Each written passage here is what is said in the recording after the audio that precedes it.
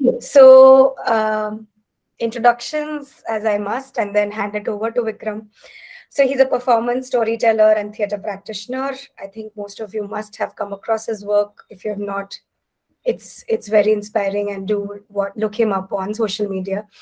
Um, he's been uh, in this industry now for 20 plus years with theater conservation and social work.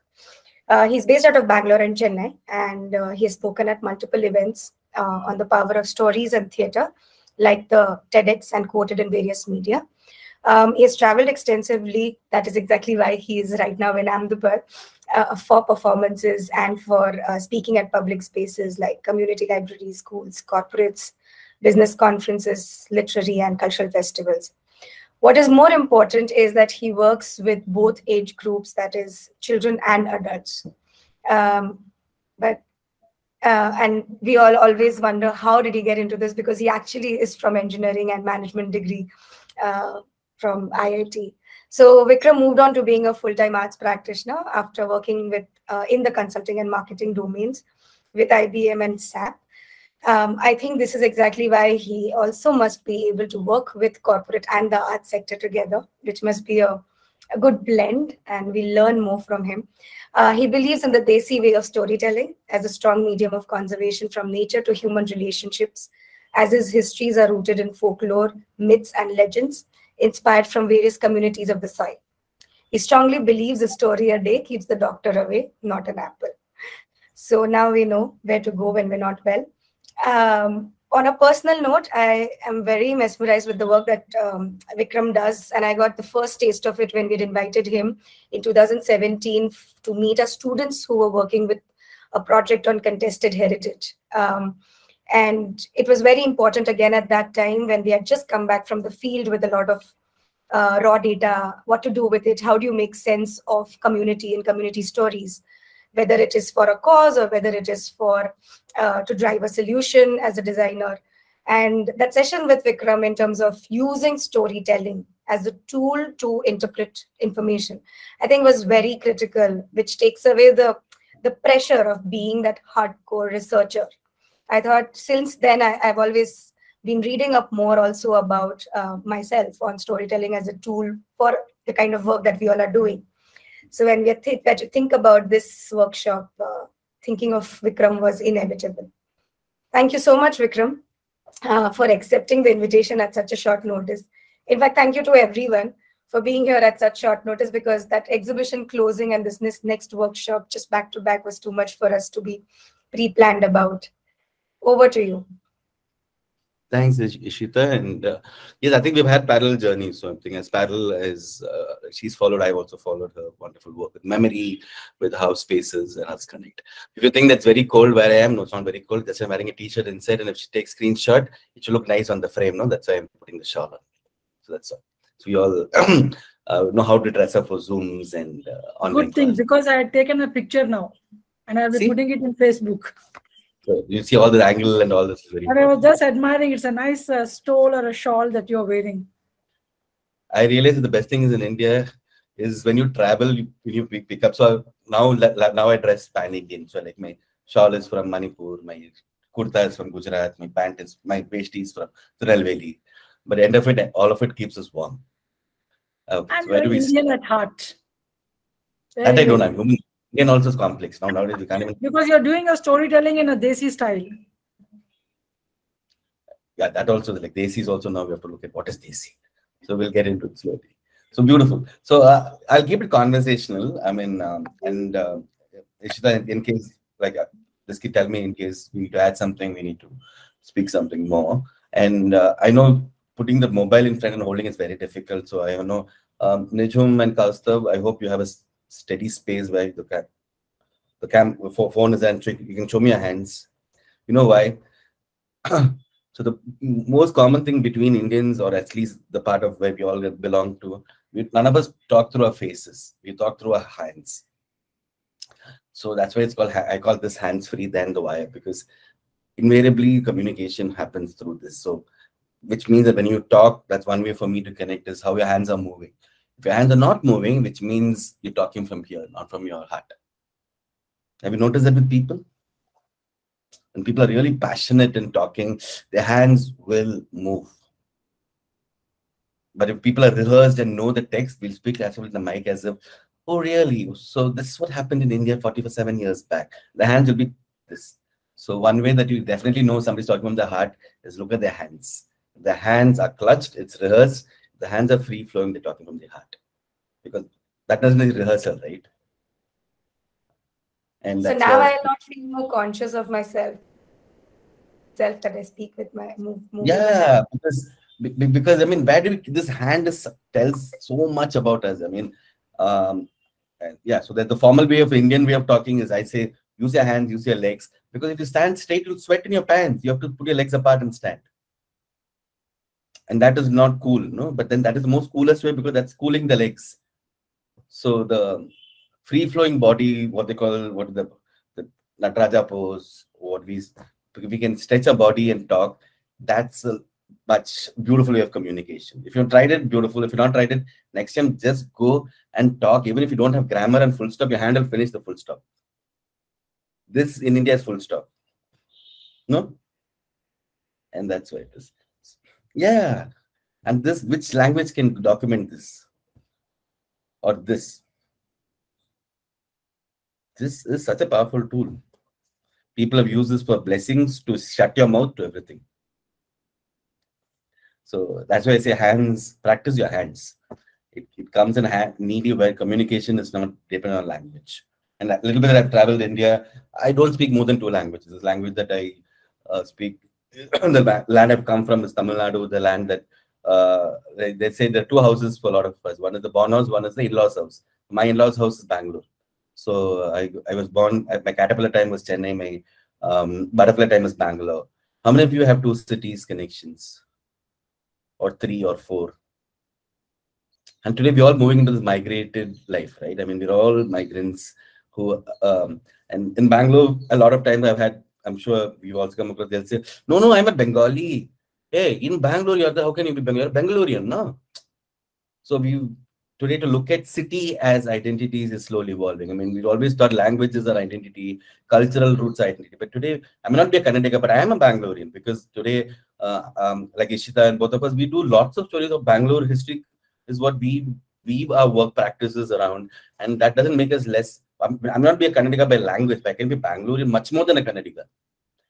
And that's the power of cities and um, spaces today because we are moving around, we are all uh, absorbing spaces. This identity uh, is it can be, and you can be a Koramangalite hardcore. I mean, I'm, well, I, I not be a Jakkurite, but I can be a Koramangalite. So I, I know that you're all from different parts of the world. So quickly tell me which cities you all are. Shweta, Tonisha. Hi, Vikram. I'm uh, I grew up in Kharagpur, studied at Hyderabad, and then have worked in Vadodara, Vishakhapatnam, and currently in Jodhpur. I'm in Jodhpur right now. Okay, I should have been in Jodhpur this week, but then so Jodhpur has a festival called Kitabo, which is a children's festival, which yes. used to happen until 2019 and pandemic. And if you're there, meet Ira Sisodia. She's a wonderful person. So sure. he will take you, and she's the one. So yeah. So as per record, I should have been in Jodhpur today and tomorrow, but it didn't happen. Baroda is another Garka Bhumi. I mean, uh, uh, so I have a house in Baroda. So, yeah. Alkapuri. That's. Oh, hey, I worked in Alkapuri, right across the railway station. So, yeah, yeah. so I say one, one, Baroda is one city in which everything that I love in my life is around Baroda. The zoo, museum, market, railway station, bus stop, all four kilometers, and the palace.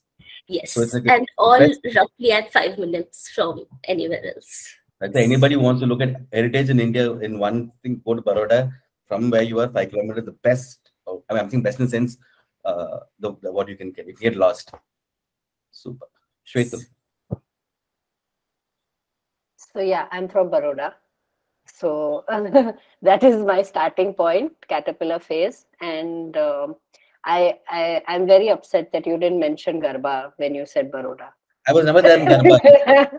So I come from a place where for us Garba is sitting quietly and singing steps called Golu. I know, I know. yes. So we we we the southern part of India is very quiet during it's like the indoor Garba. Our indoor yeah, Garba yeah, is like yeah. sitting in inside room. Very yeah. So I I've never been to Garba. I want one of my itineraries to yeah Baroda Garba. Yeah, yeah. So uh, that, and then uh, hometowns are in Bombay and uh, Bhavnagar. I have a very strong connect with Bombay. Actually, um, I find it. Uh, I don't know. It's food for soul. And I live in Bangalore, so I moved to Bangalore 25 years ago. So Which part of Bangalore? I live on Kanakpura Road. Which part of Bangalore? But Kanakpura. So the thing with Kanakpura, Sarjapur, Hosur Yeah. All these 30 kilometers stretch. Right. So I'm very close to Nice Road, uh, Kanakpura Road Junction. Valley Where you see leopards, And, leopards in the morning, leopards in the evening. yes, yes. Love. yeah, yeah. We are always given warnings that there is a leopard on the prowl over here. Poor leopard, no? They don't give leopards warning that uh, human beings are. Exactly. yeah. So a lot of snakes, leopards, a lot of wildlife around where I live. Yeah. Cherish it. Another set uh, five years that won't be there. Yeah, yeah, I know. Sony. Thank you. I uh, I was born in Ulhasnagar. Heard of it? Last night somewhere it rings a bell. Yeah. Yeah. So it's on the outskirts of Mumbai. It is known as the USA of India. Oh, Ullas Nagar. But Ull- Yeah. Ullas USN, no? Oh, okay. Uh, why USA? Uh, Ulhasnagar Sindhi Association. Ah, yeah. Wow, wow. Uh, then uh, Mumbai, and uh, now I am in Guntur, which is in Andhra Pradesh. I'm actually in the non-existing capital called Amravati. But There uh, are two, I, I realize there are two Amaratis in India. One in Maharashtra, one near Nagpur, and one in uh, Andhra or Telangana, to be particular. that's all. Super. Just three. Vastly three, from chilies to pohas to everything you have in life. Super. Srinidhi, Kaustav. I'm coming to Geeta ma'am last because I know a little bit. So Yeah, I'm Most of from Bangalore, and uh, when when I was are getting you my bamboo, Bangalore or Bangalore? Bangalore, not Bengaluru. Beng- I mean, I'm a Kannadiga, but Bengaluru is not something I grew up with. So I'm like, it's like the Bombay and Madras. It's like that, Bangalore. So No, yeah, no, it's like and I was getting is Bangalore in terms of history. So the British divided into Bangalore and Bangalore. So Bangalore is the British uh, koshis and other things. Bangalore is Dar, uh. Dharwad, I mean, say, Benne Masala Dosa. yeah, and uh, I've yeah. So my fieldwork takes me to work everywhere, but because I curate a museum here, I'm kind of stuck here. So when I told this to my bamboo guy, he was like, "Sir, if you're born here, like most of us, you'll live here and you'll die here." So unlike most of you, have a single city history, Don't except die for so just soon. So soon. Wait, take it, take it.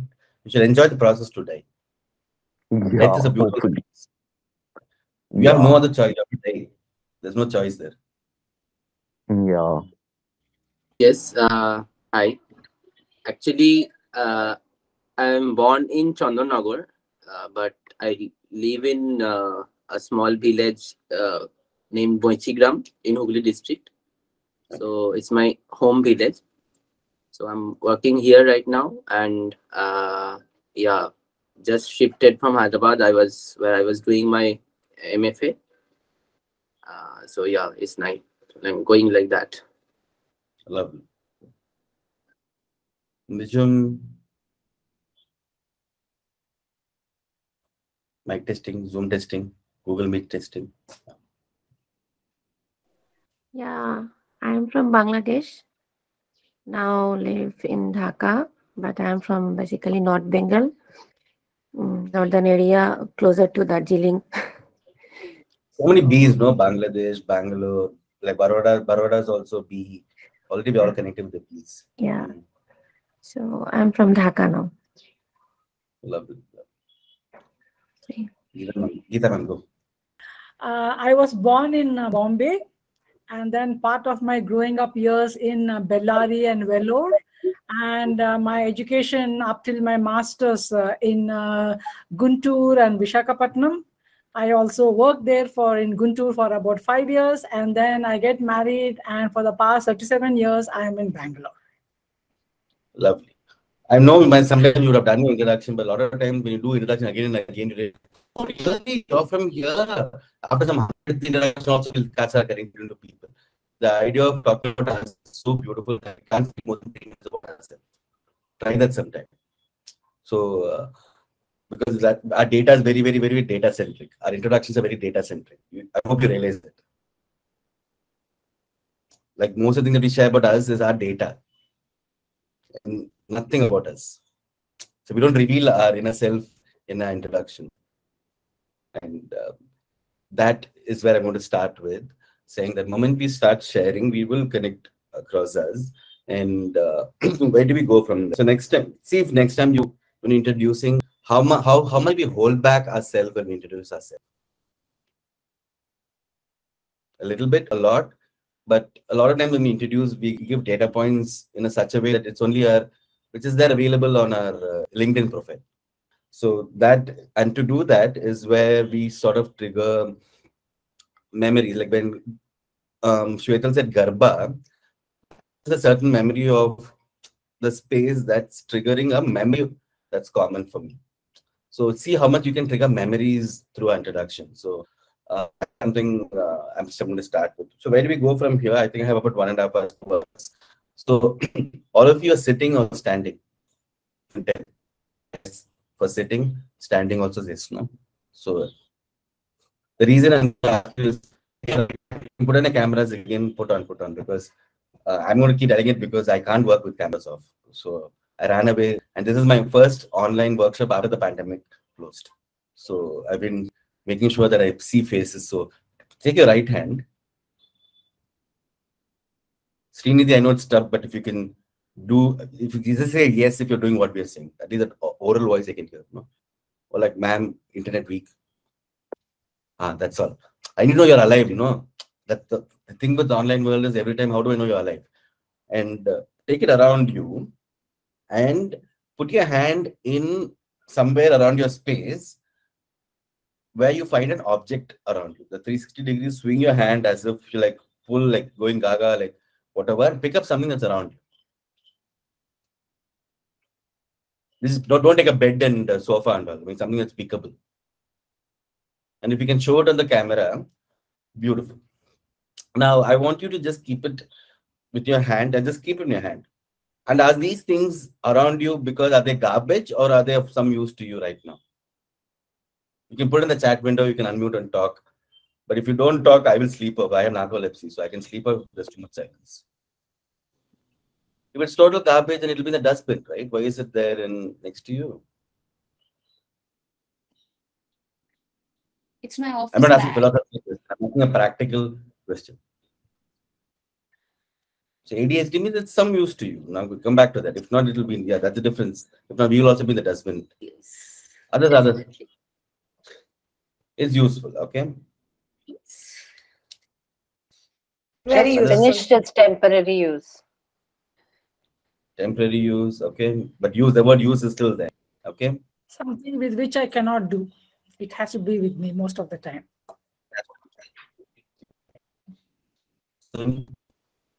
So Uh, it's my office bag. That was my office bag. you have an office bag, home bag, separately. Okay. It is of use, right?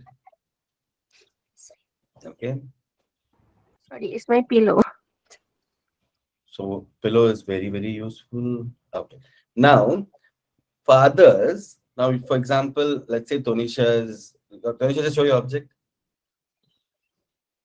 For others, is this useful or a garbage? I'm just using the word garbage to an extent that it is not useful.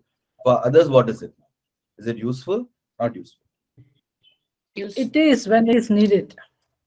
Her object, not yours. Don't make it yours. I'm saying right now, if if Tonisha gives it to you, is it of use to you? No. No. No, I don't think. Okay. Now, similarly, let's say Sony, take a handbag. Fathers, again, don't get philosophical, spiritual, gender-based. although don't don't, don't get into that topic. Purely from right now, from utility. Uh, I've done enough of workshops in my life, so I know where answers can go. So come back to that. Right now, fathers, what is it? Don't tell me, wow, where did you get it from? No, I'm not asking that answer. If she gives it to me, it will be useful. If she gives it to you, that we'll ask her after the workshop. But now she's filled it with her things, right? I mean, how her items are not, is that now there was as a bag, as a content, Right now, she gives it to you. Is it useful to you?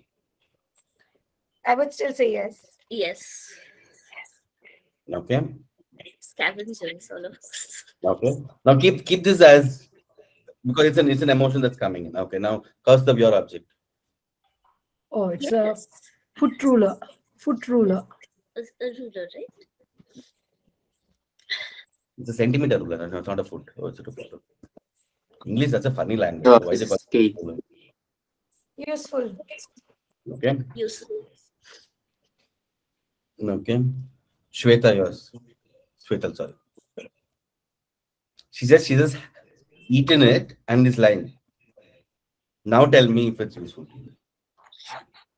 She didn't say if she's watched it. Uh, See, the- see the difference. I mean, there's a huge difference of the object, the state the object is going through.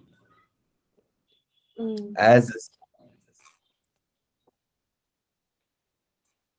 Yeah, so because we know the context of it, but I would say not useful. But if I'd not known its context, then it's it's as neutral to be useful.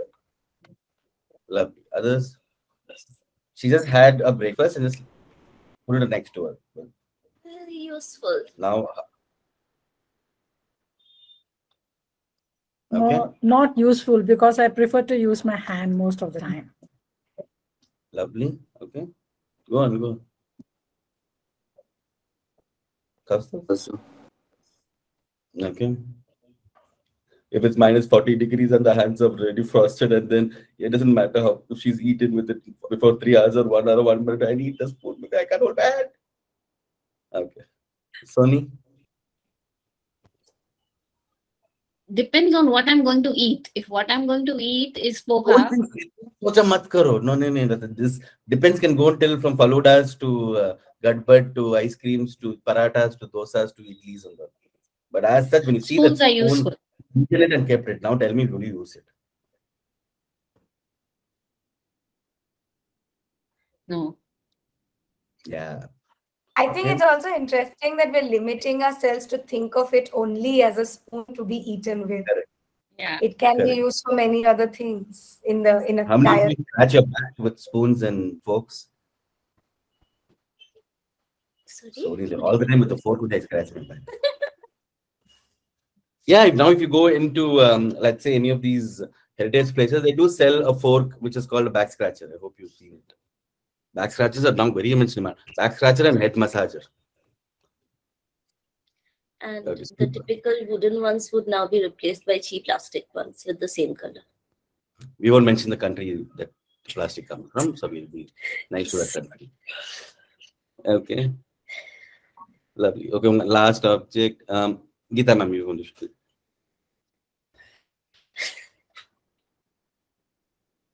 Useful.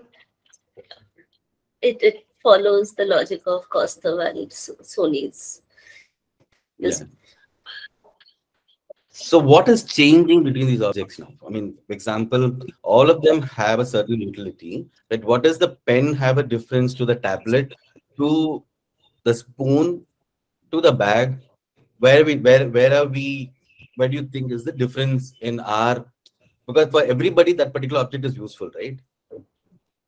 Like for Tonisha, the tablet is important. For Kaustav, the ruler is important. For Sony, the ba- so bag is important. For Shwetal, the spoon is important. Geeta ma'am, the pen is important. For each one of you, the importance for you is the same. But when it came to the other person, it was a spectrum, right? Zero to 100. For each one of you, it was 100, let's say. If not, we don't keep it next to us. I mean, we would have put, we would have thrown it away. If the pen was not writing, we would have thrown it away. If the bag was torn, will you keep it? Like, oh, I love my bag so much. Let me have this bag at my bed. Or the pillow, for example. If the pillow has cotton tatters or it's not being used, and the same like Nijum's pillow. Will that for you will be like hundred percent yes, or a zero to hundred? There'll be a spectrum there also, right? What you'll say, can I see the color of the pillow, or can I see the pillow? Some sort of secondary question comes. Now, I want you to feel why do we go through that? Why do we go through that? Certain things like the pen, for example, yes, hundred percent I'll use it. But whereas for the spoon, I give it a second thought. Mm. and don't tell me again go into your own emotion i want you to feel what went through you for you to look at it And the sample can increase. This limited sample is what I'm, we're talking about. For me, it meant that whether it is of any use uh, right now. So when it is of uh, no use, it does not hold much value. Can we let- can we even go a little bit emotion? Could you feel an emotion when these objects were shown to you? I wanted to Not much, okay. not much. To some extent, but not much. For the simple reason, some extent, people here, to some extent itself is an answer. So we're saying to some extent there is a yes to it. Why are we negating an emotion to these? Aren't we? So what I'm will slowly come into that saying. When you say to some extent there is there's no emotion, we will not keep these objects in our houses. There's an emotional baggage to it, right? I mean, Yeah. So the word bag, even if it's a baggage, it's an emotional baggage. yes. If it needs cleansing or no, it's different. But we do have our emotions to the objects that fill our life.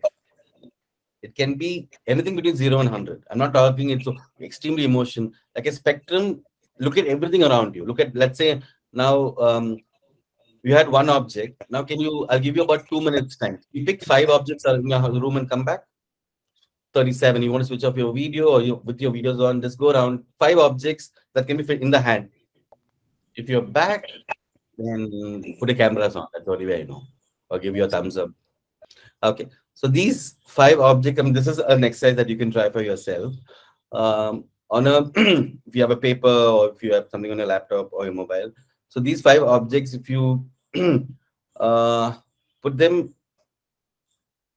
in a vertical column and mention these, and then from a zero to 100 spectrum, just look at them. And I want you to, for the first thing, just take your, let's say you name the one, two, three, four, five, and show the first one to the camera. Okay. So this, I want you to hold it in your hand, I mean, both your hands. And I'm not going to, no, no, you don't have to answer the question, but just tell for you, uh, when I'm questioning it, just answer for yourself. When did this object enter your life? How many hours in a day do you spend with this object? do we write the answers? Do we? It's up to you. That's up to you. I mean, this is your self exercise. Okay. But hold it with you. I mean, I want you to keep it in your hand. And uh, as I tell you, I want you to like imagine you're having a conversation with the object.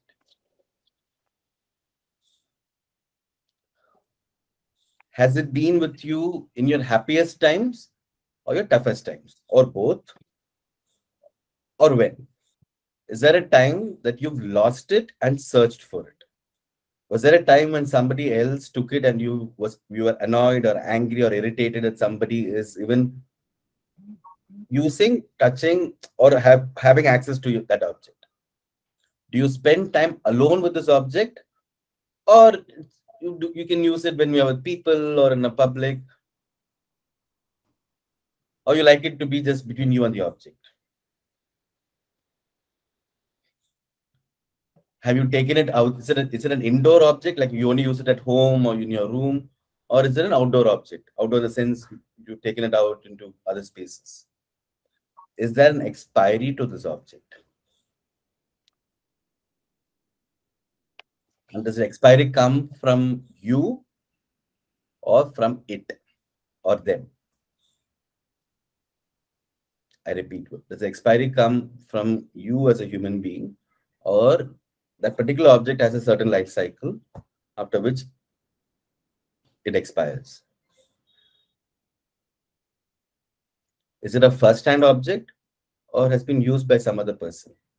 Does the object have a smell, taste, touch? Because the other two, of course, we know. But does it have a taste? Does it have a touch? Does it have a smell? What would be your immediate reaction if your object expires right now. Expire could be broken or lost or taken away from you. Expiry can have multiple denotations. Right this moment, if that object expires, how will you don't don't think spiritually, please think practically. Spiritually, you can say, huh, life goes on. Right now, what is irritation that happened to you? Don't we get irritated? Of course, we get irritated.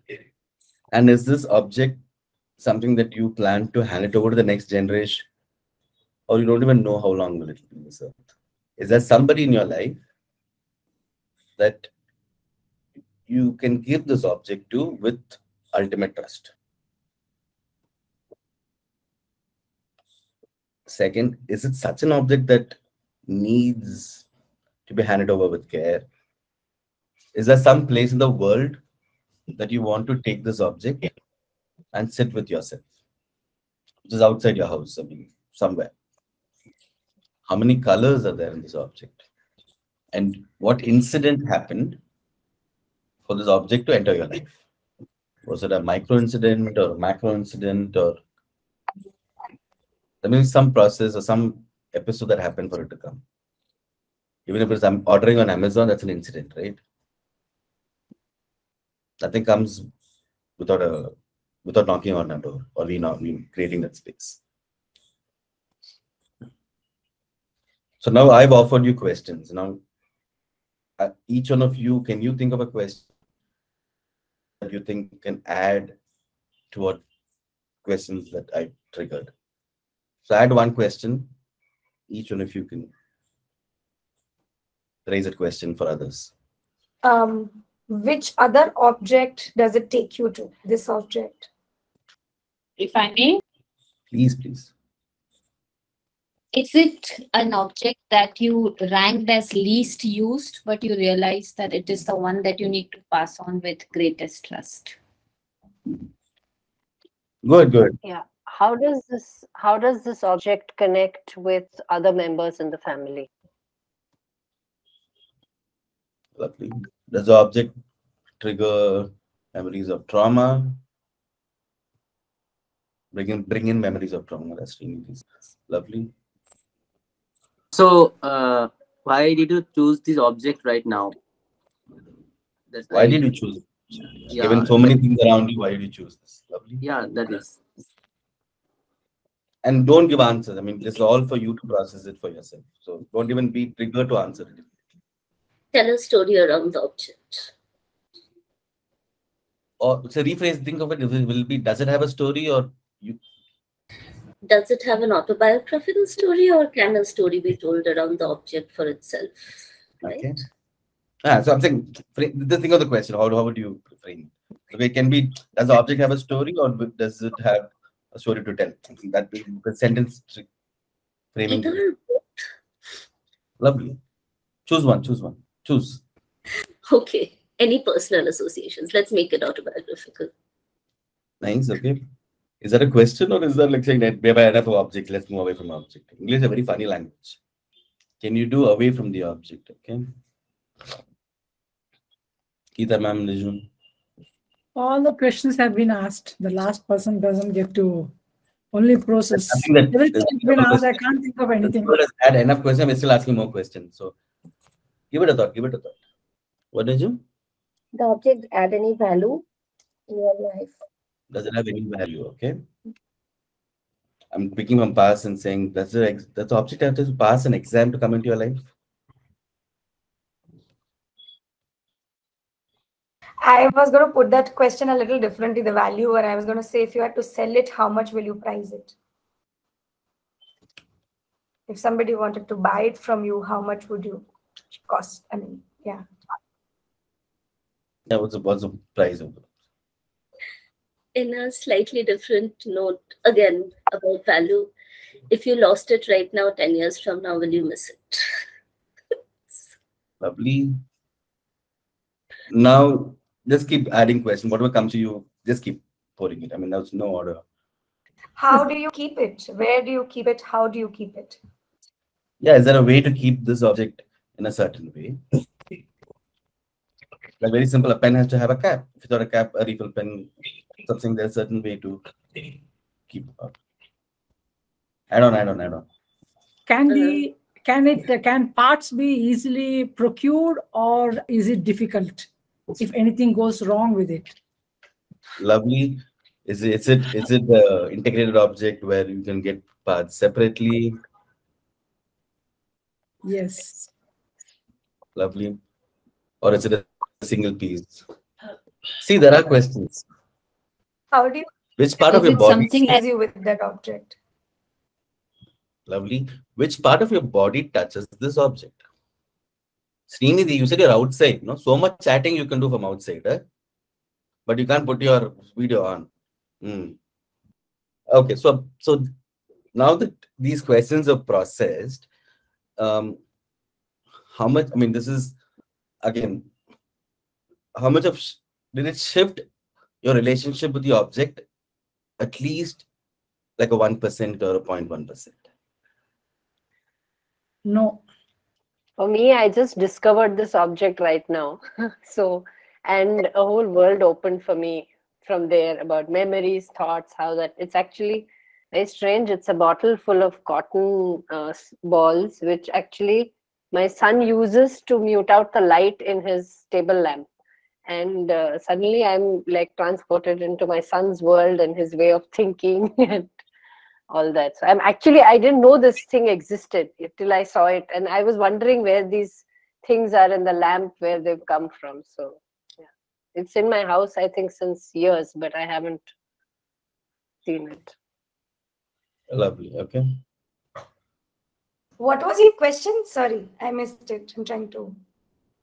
The question is once with, with these questions and triggers, your relationship, your emotion with the object that you've chosen, is is it increasing a little bit at least? I mean, point not not not one percent. Once you know that, because we I think with the questions, it got strengthened for me. I knew that because this was the fifth object I picked up, but it was more like, oh, why did I pick this up first? I felt bad. And then with these questions, hmm. it felt it got strengthened. Oh, okay. So when will you discard this object? Just answer that one question each of you. What, at what will happen? For example, if it's a mug, if it breaks, you'll discard. Can't sip with a broken mug, right? You're, Yes. So when will you discard it? I will discard this, maybe not throw it out when my power increases or decreases. Done. That's only discard. Discard means when you're wearing it, it's used. When you don't, this is discard. So discard doesn't mean the dustbin. We think discard is in the dustbin. Anything that's not used is somewhere it's discard, right?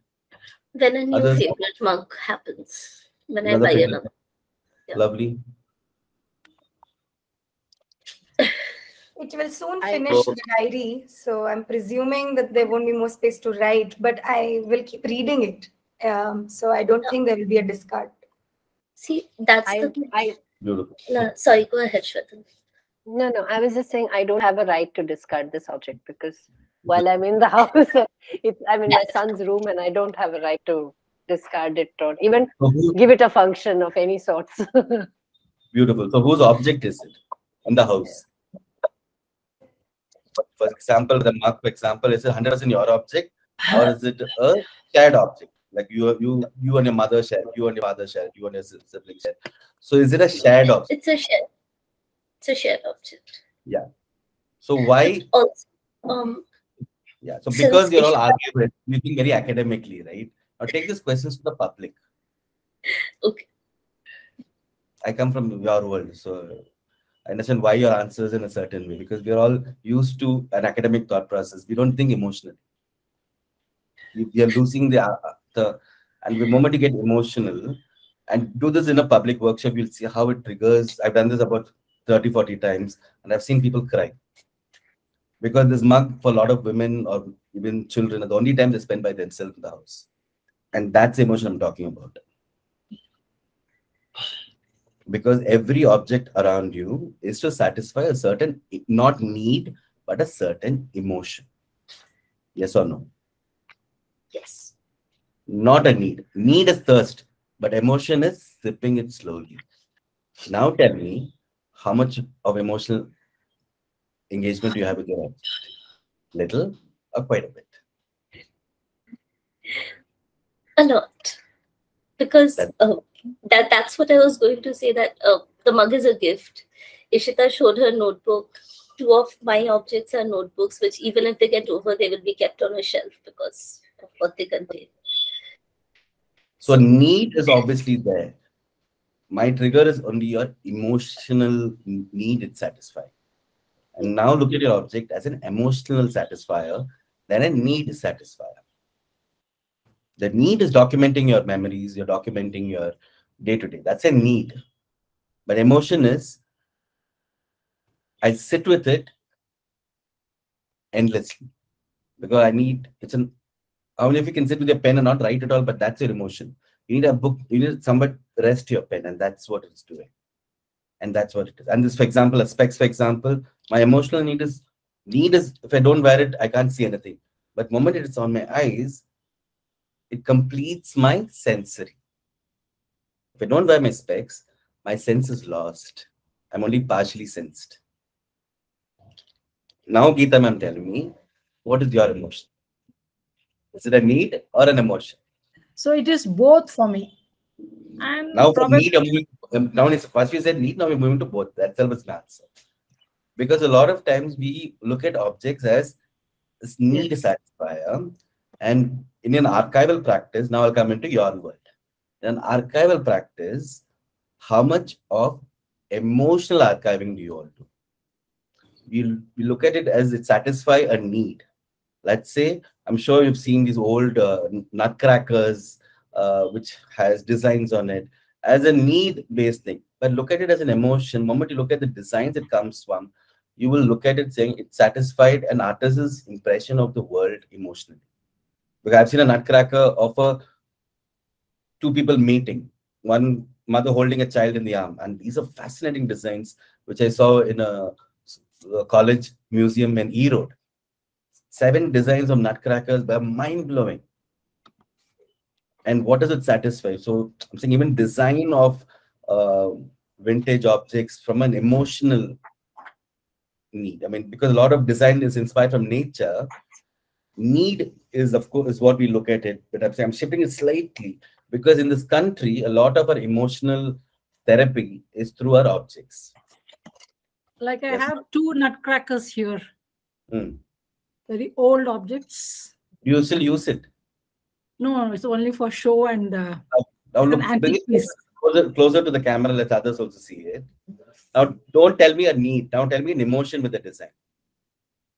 Yeah, it uh, takes me back to those artists who designed such beautiful work. Can today's artist replicate this? Number one.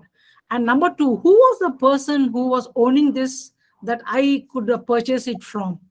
What what was that person like? So, and why did it get sold? Why did it get sold?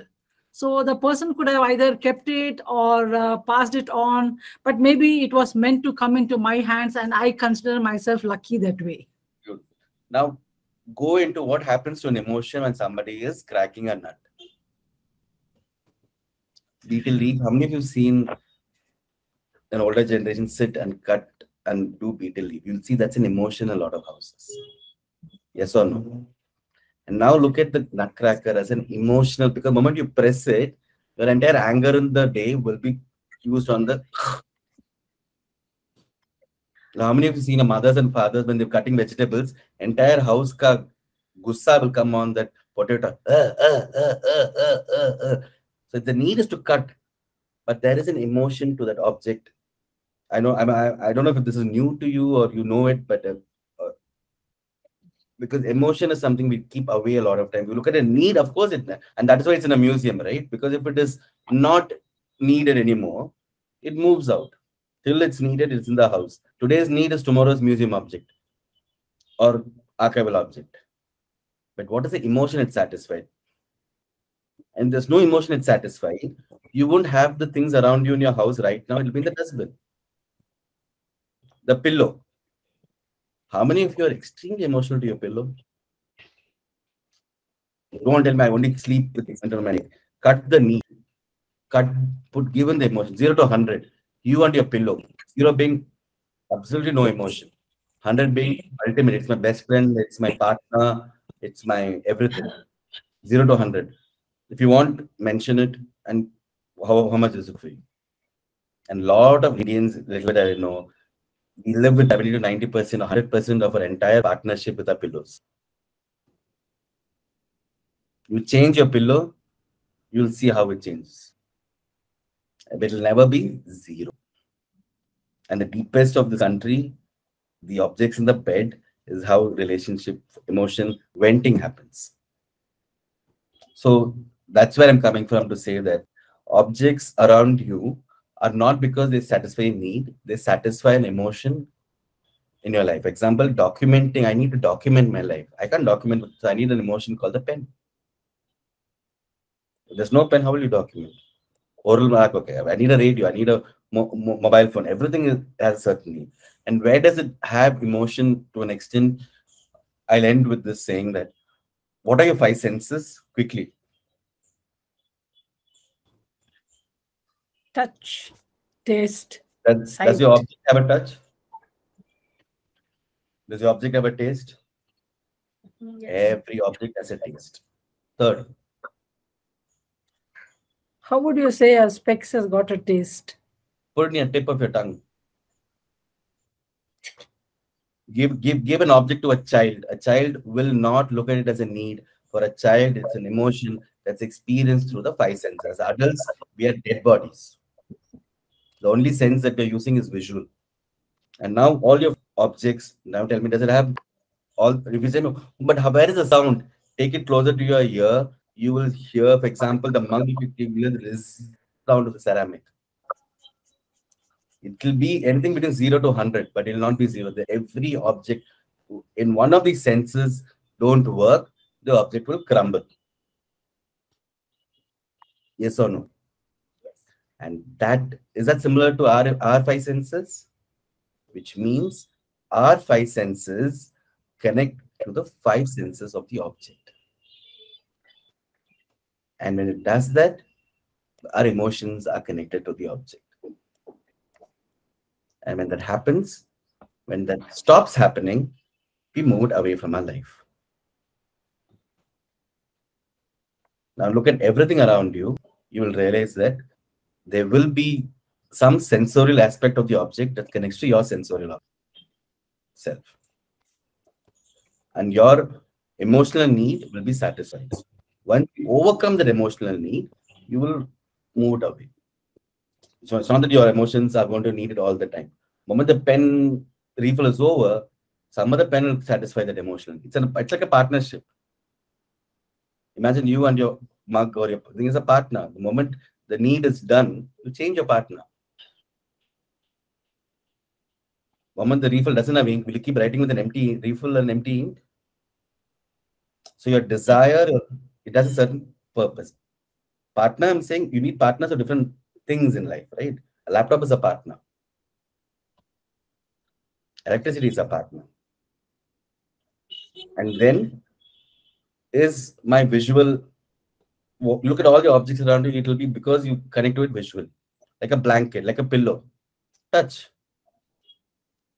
If this one of it is not there, you will not use that object. Is there any object around you which is not touching the five senses? I don't think so. And that's where I'll wind up saying that look at objects or your archival material as what does it do to you emotionally? What did it did to the people emotionally? What did it do to the society emotionally? Because there's no emotion, things are not created at all. In India, especially, every creativity stems from emotion more than a need. Yes, no, maybe. And objects have the strongest value of an emotion, which a human couldn't give, which was superimposed. Ideally, for a nutcracker, imagine the husband or a wife sat together, took the nut and cracked. Things would have been normal because one of them didn't do that. You brought on an object to do the nut cracking. When did these objects evolve? We didn't have these. None of the objects that you showed existed even 200 years back in our practice. We never wore specs 100 years back. We never had a ruler 100 years back. We never had a mug even 300 years back. We had different types of bowls, but mug in that aspect. So we didn't have a handbag. I don't think our grandparents had a handbag. No, Sony? So each one of it that you showed didn't exist in our vocabulary. Even our vocabulary didn't have these words even 100, 200 years back. And when did it enter our vocabulary? And today, why is it becoming an ultra important need? Our earphones, for example, or laptops, for example. Because this laptop is getting to go into already museums have uh, the IBM machines of 1970s, right? fax machine. How many of you seen a fax machine? Isn't a fax machine already in an archival in a museum already in our own times? Which was a utility, which was an emotion. And if you in the 90s, if you remember, if you have to send a communication, the fax didn't work, people get palpitation. That sound of the fax machine, apart, it's gone. That's now you see Shwetal's and Geeta Ma'am's express, you'll know how much importance fax machine gave emotionally. That one message, that one yes. thing had and it'll take 15, 20 minutes for it to pass. When it's finished, and then that slip comes out from the post office, you'll be like, done. Imagine the trunk calls of 1990s, of 70s and 80s. What emotion it is. Today, even the WhatsApp message, how many of you will see? Under, if you see the blue tick mark, one emotion. If you don't see the blue tick mark, another emotion. Even WhatsApp, look at it from an archival, let's say Orkut. Orkut is already archived. The word is archived.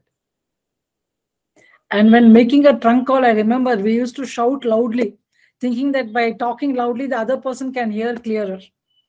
So you raise your senses. So again, one sense has to go up for you to complete active. Beautiful. So that's where I'm coming from, saying that every object in our life has an emotion, has a human need, which is not, which is much more than utility. And utility is one part of usage. And I hope somewhere in your archival practice, you will ask these questions as filling this, and that will create a story of your object. Now, with all these questions, when you put your answers, you will have your answers. You'll have a story that's slowly weaving. Once upon a time, there was a mug which was green in color. And somebody wanted to go to a birthday party of Tanisha and came to the shop, picked the mug, and came to Tanisha's birthday and gave it in a box. And when Tanisha opened it, eh, oh my God, I thought I, my, I didn't have a mug for my next cup of coffee. And this mug entered Tanisha's life. I have questions. So I look at ordinary everyday objects, right? So the advertisement that came out in a magazine 10 years back around the pujas, for instance, things like that. And they are valuable. They flesh certain things out and we tell stories around them.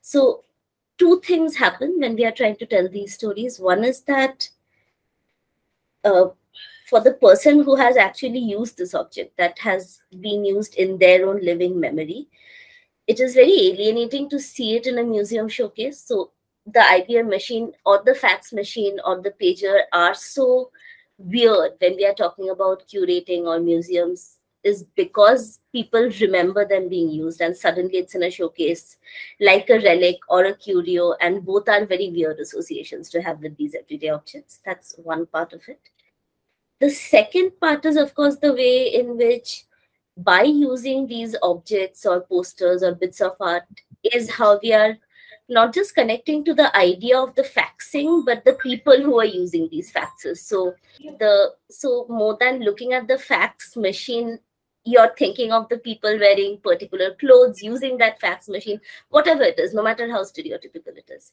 So and that is typically how archiving works right? Or telling a story around archiving works.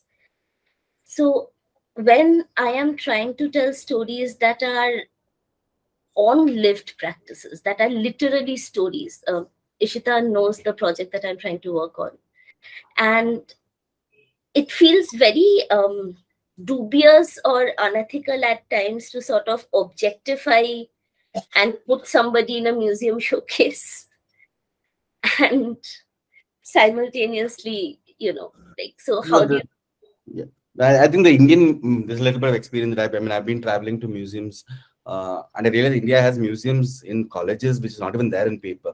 Our definition of museum is very, very, very, very, very, very, very, very small. And if we and I call it dead bodies if there are no human beings in the museum talking. It's like library. I mean, you've seen a library which says silence, please, right? A problem. A, the word library it means itself means human interaction so museums need not be just a storehouse of uh, uh, items. It has to be an interaction of time. It can be a larger conversation. And these fax machines, it's I'm saying, for example, the utility has moved on.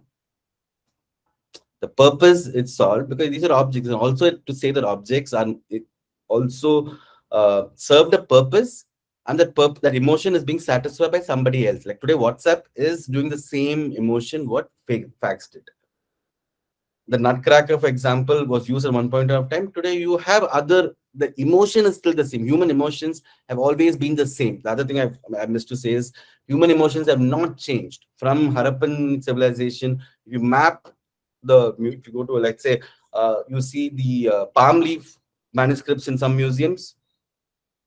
And, and today we have the same Mahabharata online, right? like the Madurai uh, Mahatma Gandhi Museum, next to it, there's a small museum which nobody goes. That has one of the oldest manuscripts, palm manuscript, the Ramayana Mahabharata. The Mahabharata hasn't changed. The format of documenting Mahabharata shifted. Today, Bori, which is documenting Mahabharata, is doing it digitally. So the emotion of documenting the Mahabharata is still the same. But the tools have moved so now you keep the emotion on top of it. And then you see well, look at any archival, uh, it can be an object practice, it can be even leather puppetry, for example. Oh, leather puppetry at one point of time was used, but the emotion that leather puppetry did 300 years back is still the same today when, uh, let's say, a movie, even what Kantara did. Isn't Kantara doing similar thing what leather puppetry did 300 years back? Yes. The emotion is still the same and I hope that answers sort of your question, saying our emotions are constant. Our human emotions haven't changed. The need is much more today than before because today, because of pandemic, many things, our emotions are even more deeper.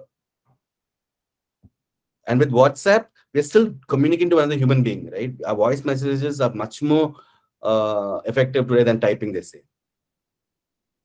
And the same thing what trunk call did, today we're doing WhatsApp calls. You're going to Google Meet. And that is how I, mean, I see museums or when I visit museums or anything, I ask question, is that emotion, what is my emotion connect to it? Like I'll see leopards and tigers, uh, first, I mean, the short ones, the huge ones in the uh, biology or the human, I'm going to say, uh, living species museum, for example, which is there in uh, Bhopal, for example. The Bhopal uh, uh, museum has a little bit of part of it is uh, the royal family, then a part of it has lots of leopards. Suddenly, I see lots of leopards inside the first. Mano Sangralay? Not Mano Sangralay, the other one. Um, I forget the name. Give me, give me another museum in Bhopal. I'll get not Bhopal, Indore. Sorry, sorry, sorry, Indore. Um, and then you see that this this this land, for example, was where uh, uh, Holkar used to come because there was a small temple and next to a river, and the temple is still there, but the palace is large so what is the emotion that carries with the land, with the space? We'll move into space, the next one. And this leopard has, what is my relation with the leopard emotion? It's just standing there. And we pass across, and this I've noticed many museums, people just pass, and even like uh, Taj Mahal. People have read Taj Mahal, but I've never seen people sit and just observe the Taj Mahal for half an hour. We don't look at what emotions it triggers. Because we've grown up reading about many of these uh, archival things. Let's say even um, archival, like let's say uh, the Adalaj of uh, uh, Adalaj Temple of Ahmedabad. And people have read so much and they come, but people don't sit and just sit there and look at your emotion. We just come, take pictures, and go. That's where I say emotions to objects. Because I have it has what does the South Indian have to do with Taj Mahal? No history, no heritage, nothing, zero connection. But in some memory of mine, it's there from my LKG to now. But now when I really go into that, so that if that can trigger an audience, because everybody has a connect to let's say your practice. You find who's your audience you'll see what is the emotion that you are carrying it. You'll find somewhere you're answering that. Does it answer your question? Or address your question. There's no answer. Yes yes. And that's when for me emotion is such a strong medium because otherwise what does me and uh, let's say nehru have in common? Nothing. But our emotion to india can be same right? Or similar. Or not but the moment touches the emotion, it's just, like for example, in Allahabad, if you go to the Anand Bhavan, what, what do I have with Anand Bhavan? No, but my emotion as a South Indian to say that, okay, Patel, Nehru, and Gandhi sat in the balcony so that me living in Madras find that freedom, find that question to freedom. And slowly I'm triggering my emotion to Anand Bhavan, which I've not even there in my landscape. I don't even heard of Allahabad in my younger days. And if you go to Anand Bhavan, the balcony is huge. I mean, they're not allowed to sit, but uh, I, I, mean, I, I, just sat there without permission. The moment you sit there, you realize this is, the, this is the place where Hindi became the so-called official language. And this can be triggered in any museum. Like like now in, um, uh, in Ahmedabad, I went to the Sardar Vallabhbhai Patel Museum. In southern India, Patel is not even heard of. And then, but what does Patel and me have? Then the 1947, then that map integrating India, the Operation Polo. Then I see where is Madras presidency, where is Bangalore, where is Mysore. And then I build a connect to Patel. And that is always a constant journey of emotion. And do museums do that by themselves? I don't know because museums, many museums today are just their dead bodies. But you can, but they have a lot of life-giving speeches. Humans need to enter. Technology has entered. I think more humans need to go and sit and have conversations. Classroom should happen in museums. Like I know somebody in uh, Bhopal who has an NGO where they go to museums and have classes, and that's exactly where, like I'm saying, even this interaction, if it can happen in a museum, see the what difference it will make. And by the way I'm not an academician, I'm a practitioner, so my answers may not be academically correct.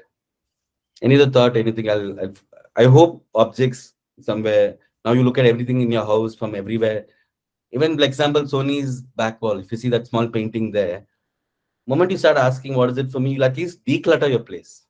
We have a lot of garbages in our life, emotionally, physically, relationship wise. Moment you start looking at it emotionally, even remove people in our life. When we sometimes even people are becoming museums in our life, no? I was just thinking 10 minutes for everybody to just go get some coffee or take a bio break, whichever would be useful but in the meanwhile, I mean, what I what I just wanted to highlight what you said in response to Tanisha's question. I think I'm think I'm saying it from the larger practices in archiving. Um, the whole idea of finding emotions um, in your end users something very interesting because I think we we constantly are looking at this question that who is this project for and how are we identifying the end readers or end users of an archiving project so while we have had different ways of identifying them, one of it could be to whom does it emotionally really appeal uh, or connect? I think that's a very, very strong takeaway. Not just our emotional association with the archiving material or with the person whose material it is, but also with the end readers and end users. I thought that was a very strong point for everyone to note while they're building their projects because then yeah. we're not trying to unnecessarily spread ourselves too thin is what i'm trying to say because the moment which we say it's for the public the public is becoming so um, difficult to comprehend who is public and the public constantly changes because cultures change and mindsets change then that is where most of these cultural preservation projects fall into a lacuna where they don't know whom are we addressing? What are we there for? So you have you sort of have an existential crisis. But if you were to take it to those who let's say who are missing garba. So if i'm thinking of the project that Shwetal is doing is it really for the ones who get to do it every year or it's for like people like me who has finally found a place in garba in bangalore where i can connect? But for last 5 years i've had serious fomo so her movie and her archive would be something that I would love to fall back on. So I'm just just putting in examples to strengthen that idea that the end users are emotionally connected rather than only scholarly. Srinidhi, you are unmuted yourself. Yeah, I'm kind of. Uh, I, I really liked the session. It was very interactive, even though I didn't switch on the video. But um, I'm kind of reflecting on um, what sort of uh, emotions kind of come up because um, more often than not, I don't know how where do you be dispassionate and where not. Like destruction of the Bamyan Buddhas, right? Or it was an emotion that took down almost all the museum artifacts um, uh, you know when there have been so many uh, civil wars or there have been um, a lot of stuff happen. And we've also seen artifacts go down um, during very correct movements like black lives matter and so on. So i'm kind of unsure in terms of how much of emotion and what sort of emotions are you going to uh, look at?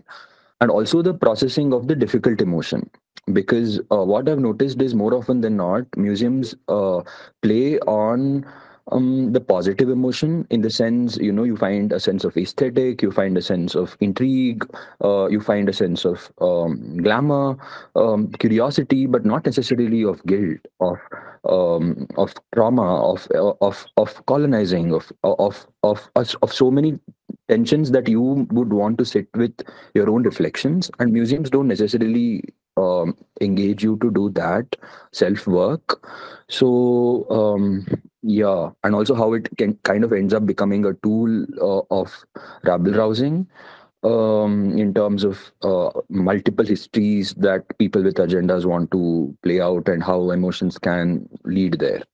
So yeah i'm kind of sitting with all these feelings um, as well in terms of how do you now uh, use the emotion in your practice but Srinidhi, to add on to that, I mean, you are a change in the process. No, I'm saying we say past museums, and of course, the museums, the Conflictorium has done great work in uh, touching topics that you said. I mean, um, the Ahmedabad Conflictorium Museum, and I'm saying there is no, there's no one type of emotion, also, right? I'm saying uh, when you bring in your practice to the world, you change it. I mean, we, we we we have a lot of things to say about the past, but I'm saying we are all in continuum.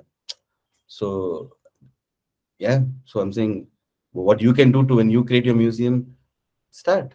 Why you why are we pointing fingers to others? Like i say uh, that's the artist's world. I mean we all take from the past understand the gaps that we fill and then and that is contemporary practice and handing it to the next generation.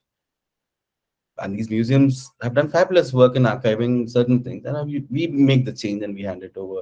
Because guilt and uh, guilt was never a practice of the museums maybe 100 years back. Now when you say guilt is a certain emotion in your museum museum practice bring that.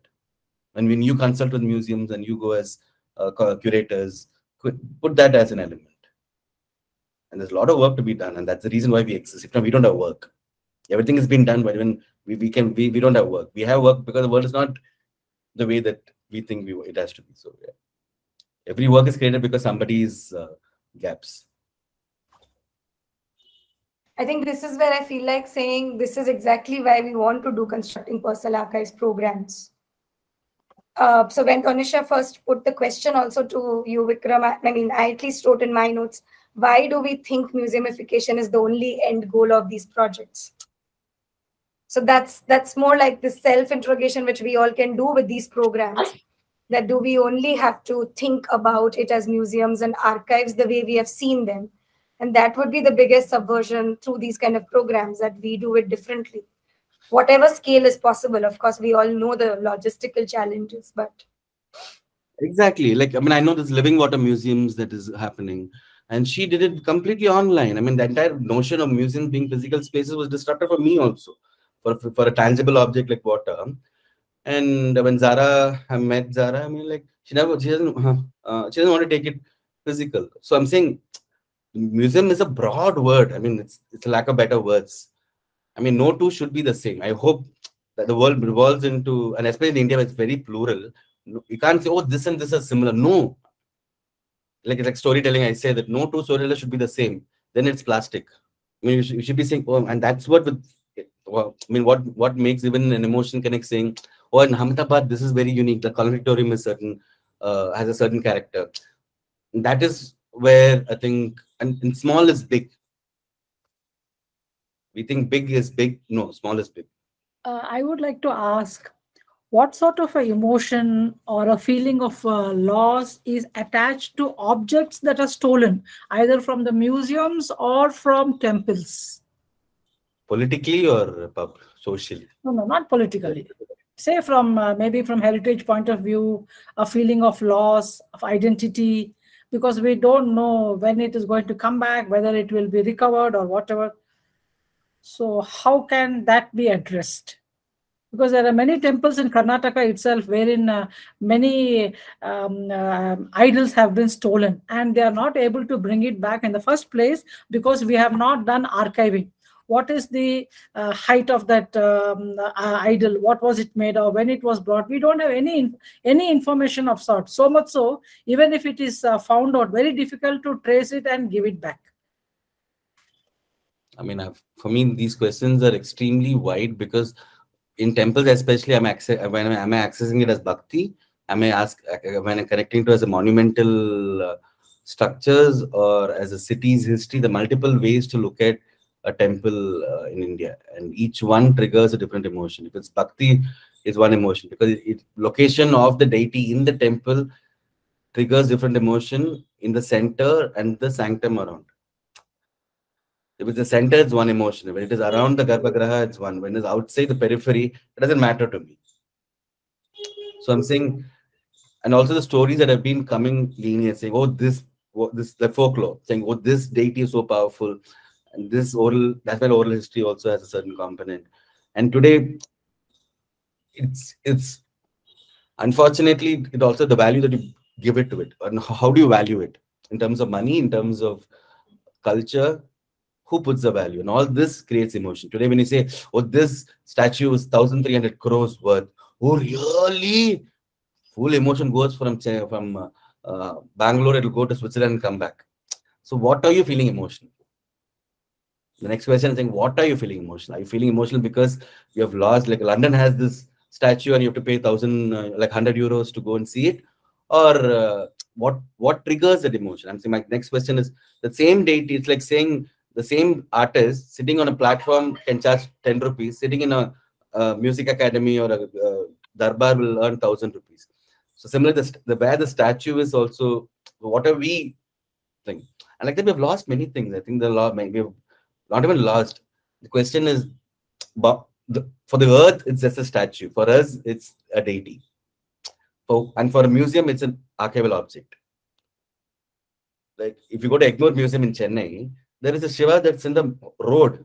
They've kept because there's no space inside. They've kept the Shiva statue on the road that you don't worship, and it's a perfect Shiva, pure. I mean, I'm sure Ishita and others have seen museums where the deity is outside the museum, like the even Baroda. If you move outside the uh, museum, there's such a large Nataraja in the outskirts that's been kept, no maintenance, and beautiful to look at. It. It's double sided, and I'm wowed at it. And I'm saying this what is I think the value that we create to it also.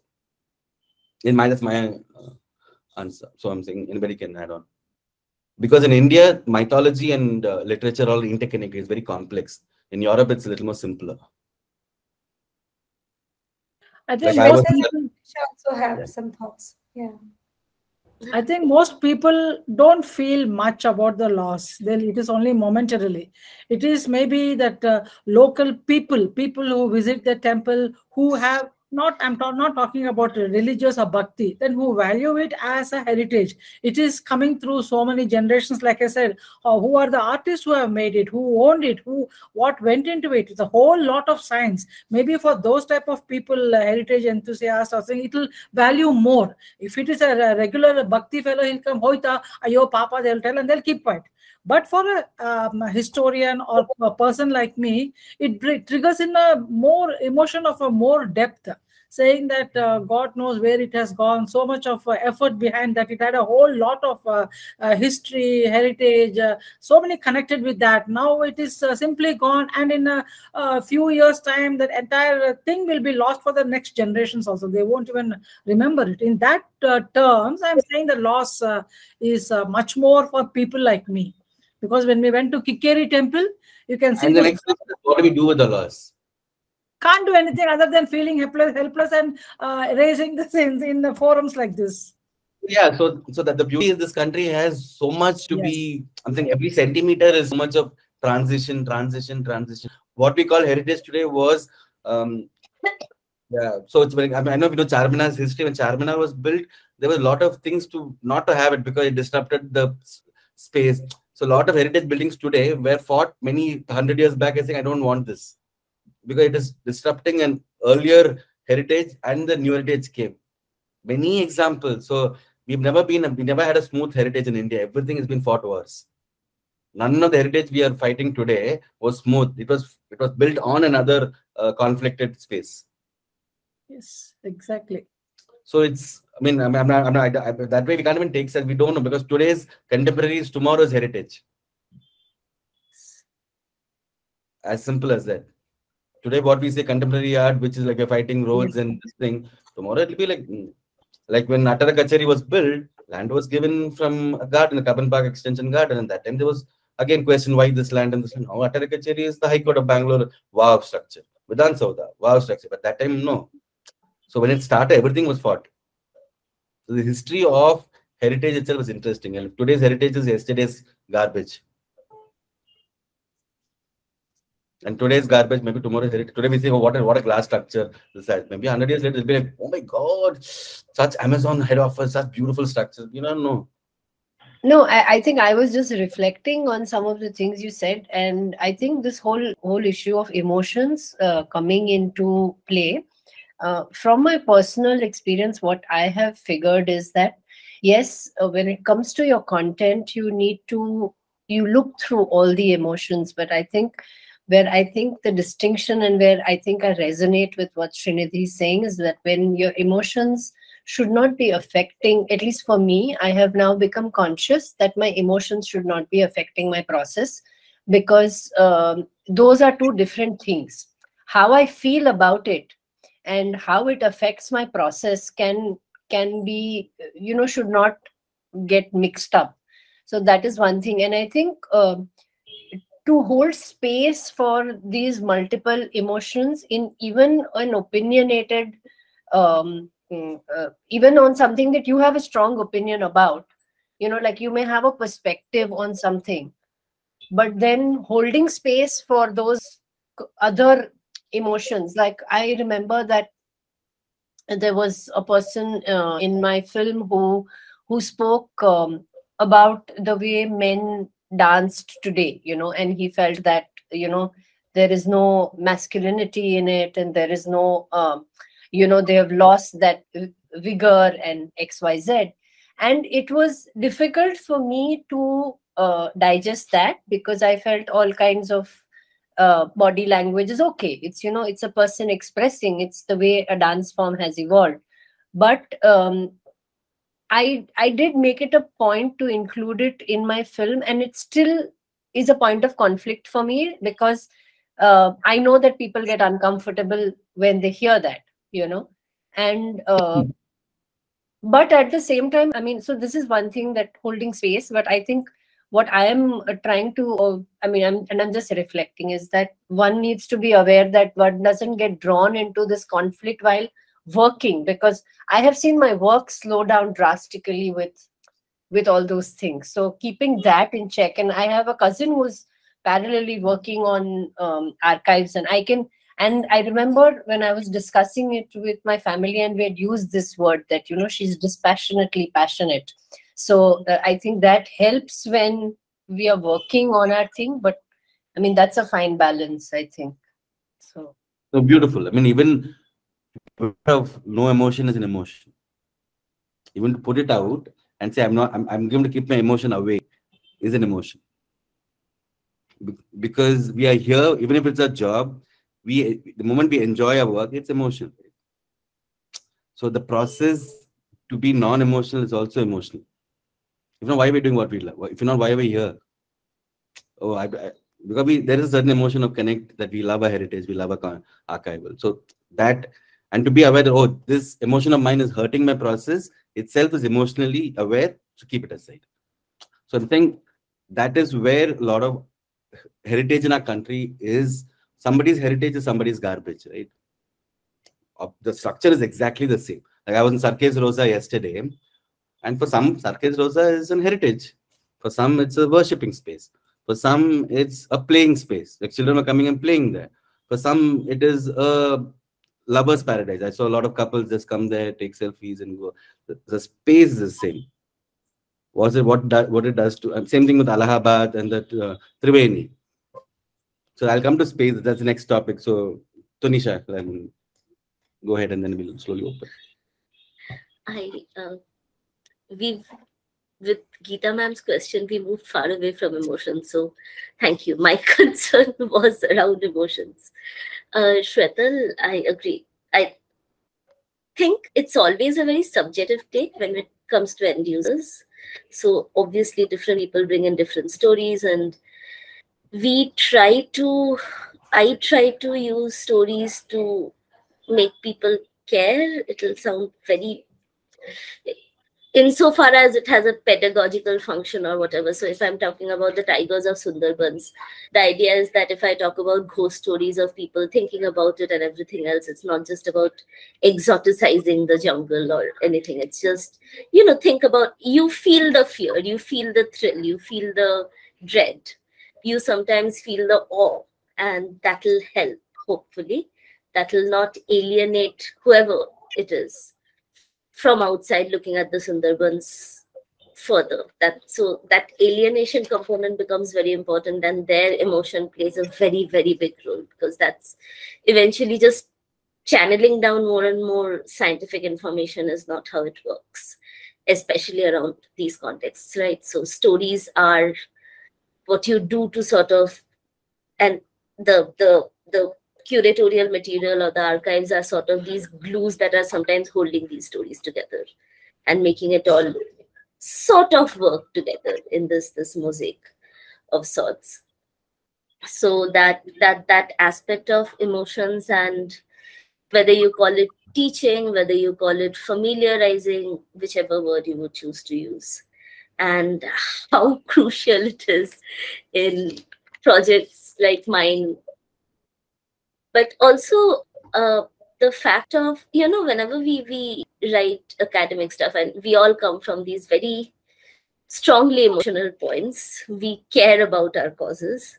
But at the same time one of the first things that we are taught is that we can't write in a biased way no matter how justified our cause is because that itself will um, take away or that itself will make me lose my audience effectively so one of the first things that so I used, say, I'm sure you're aware of it. Khabar Lahariya has been making the rounds now. A documentary has been recently made, and documentaries are very interesting because of how they are archiving what stories they're telling around these sources, interviews, objects, everything, right?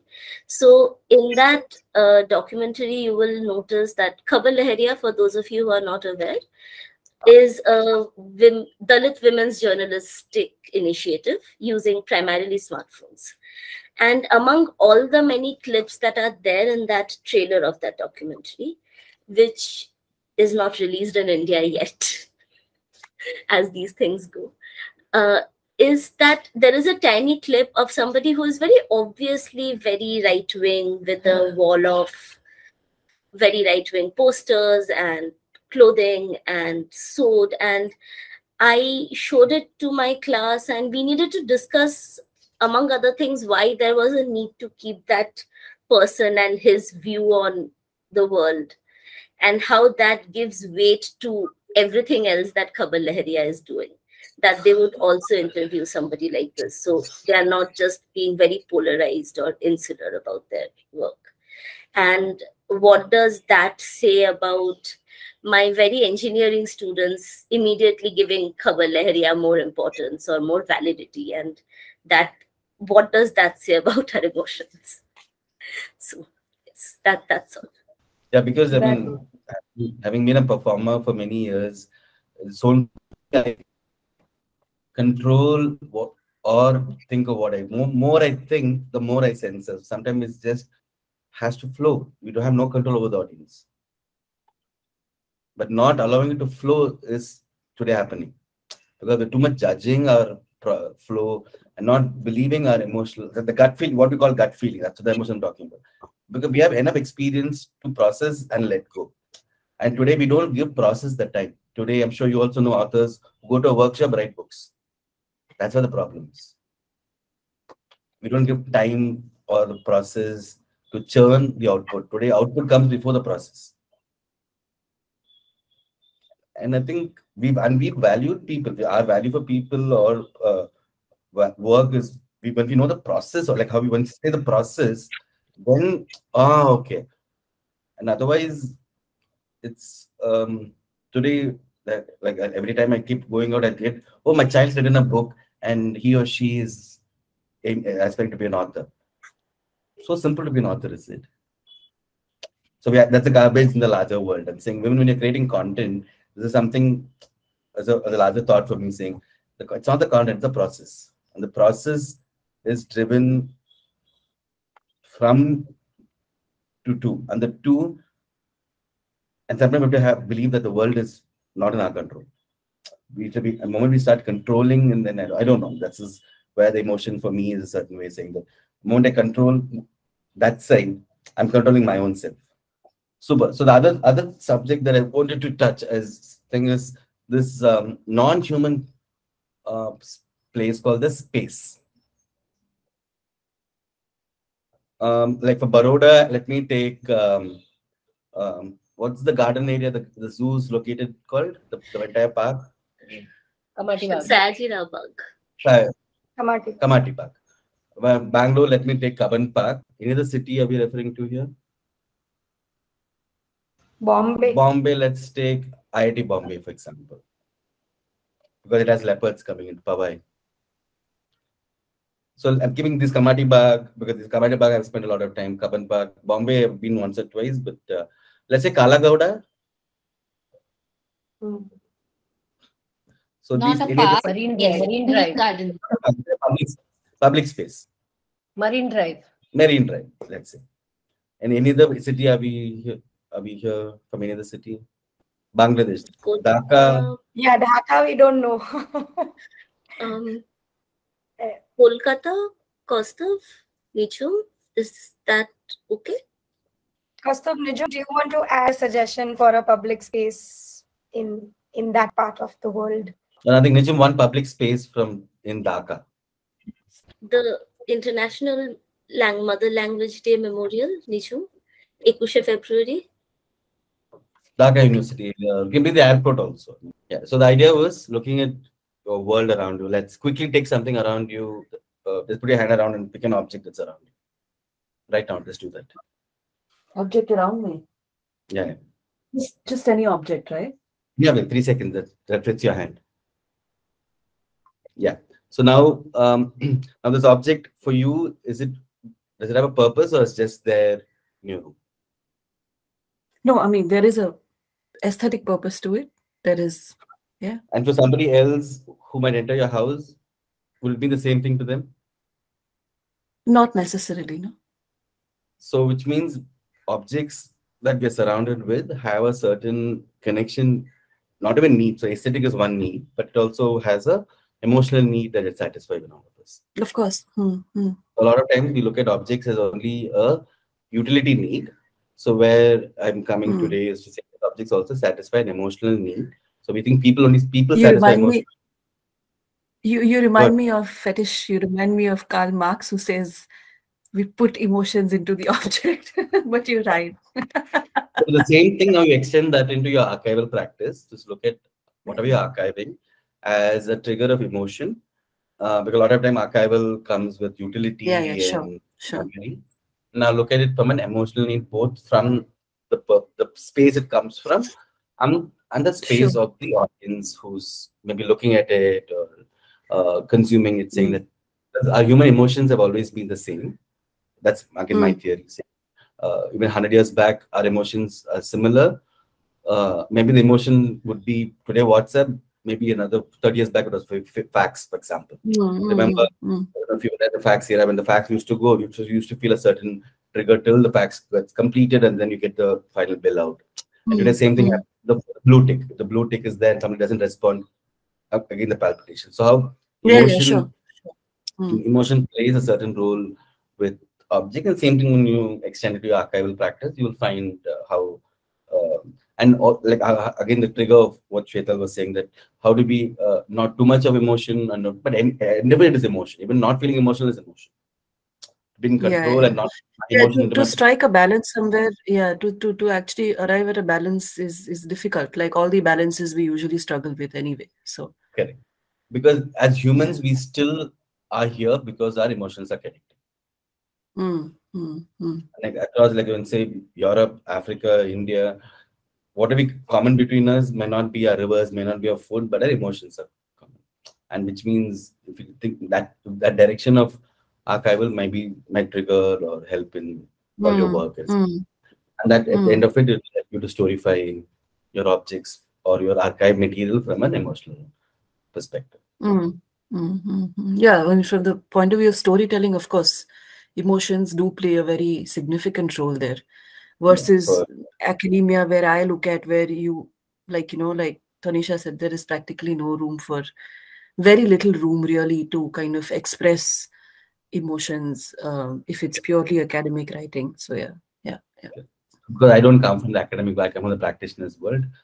Okay, so from objects, the idea for me to look at space is um, uh, most of your archival or what, what the research that you all do will have some space associated with it. I mean, because even if it's an object, let's say I'm looking at a nutcracker, the nutcracker would be in an ancestral house at one point of time. Or how space is a sort of a trigger to look at. Um, so one thing, for example, uh, how many of you know MG Ramachandran? MGR, an actor who lived at Once Upon a Time. So that's how archive in country is. Old actors are all archived now. And I, I so I asked the school somewhere, I think in uh, Rajasthan or somewhere, saying, "Do you know Mohandas Karamchand Gandhi?" He said, "Ha, my grandfather's uh, uh, teacher." So already archival of people are happening in our life, literally. Uh, you can check that. Uh, ask any any children, you know about Sachin Tendulkar? They will say, "Ha ha, that old uh, cricket player." So people are getting into archival mode already in our own lifetime. Like in another two three years, even um, uh, is archived. So um, where to space? So MG Ramachandran was one of those superstars of the Tamil cinema, and he was the first actor or one of the first actors to have air condition in his dressing room. So now, when I say air conditioned in dressing room, which year do you think this was? Any idea? 1970s. Uh, okay, others. I'm just triggering an idea. Like imagine air condition, first air condition in a green room, which year? Before the caravans came in, 1990? 1990. No. 1960s. Let's say 1960s, 1970. But MG Ramachandran died in 1987 or 1990. He was not even there in the 1990s. so, so, so he had a special room to put his makeup and this AC. Imagine 1960s, 70s. Imagine those times when one street had one television and entire street used to go have tele. So the AC room was the most exotic place in the entire of Chennai, entire Madras. And uh, the only person who could enter was, of course, him. And every time he entered, the room had to be, and the next person who can enter the room would be a very small person or somebody who's a, who's a celebrity. And access to such a room for anybody. Could be Jayalalitha. Now, this is outside the door. She's jumping the story. That is what happened with adults. and the other person who could enter was this makeup person. It's a makeup room. Of course, the makeup person has to come. And uh, the next person was, of course, his wife called Janaki. How much we take things for granted, no? We judge people immediately saying, go to jail. Yeah. And because he did the most number of movies with a single heroine, and the heroine's name is Jayalalitha, most of the makeup used to happen for them together in that room, which means till he died, that room was only accessed by five people totally. And this place is in a college called the MJ Janaki College, which is now a college uh, in Madras. If you go to the Marina Beach, it's nearby that. And in 2020, 2013 and 14, we had a festival in that college, the storytelling festival, and the room that was given to us to change was the same green room that MG Ramachandran and uh, Jayalalitha and other actors in the movie used to dress, which was again accessed by five people. The same space. His photo is there, life-size photo, three life-size photo. Of course, the AC has changed into the modern ones. And when I was there, there were 30 of us were sitting there and talking. At one point of time in 1970s, there were 20 security guards outside this room so that nobody enters into the room. But today, the 20 people are already inside the room. What has happened to this space? And the same happens to many such spaces in India, right? Like you look at um, Fatehpur Sikri.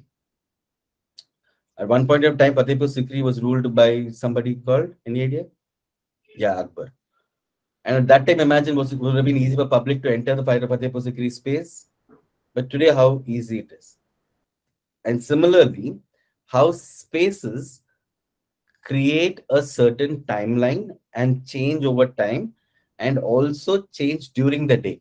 For example, imagine a Cubbon Park in the night time.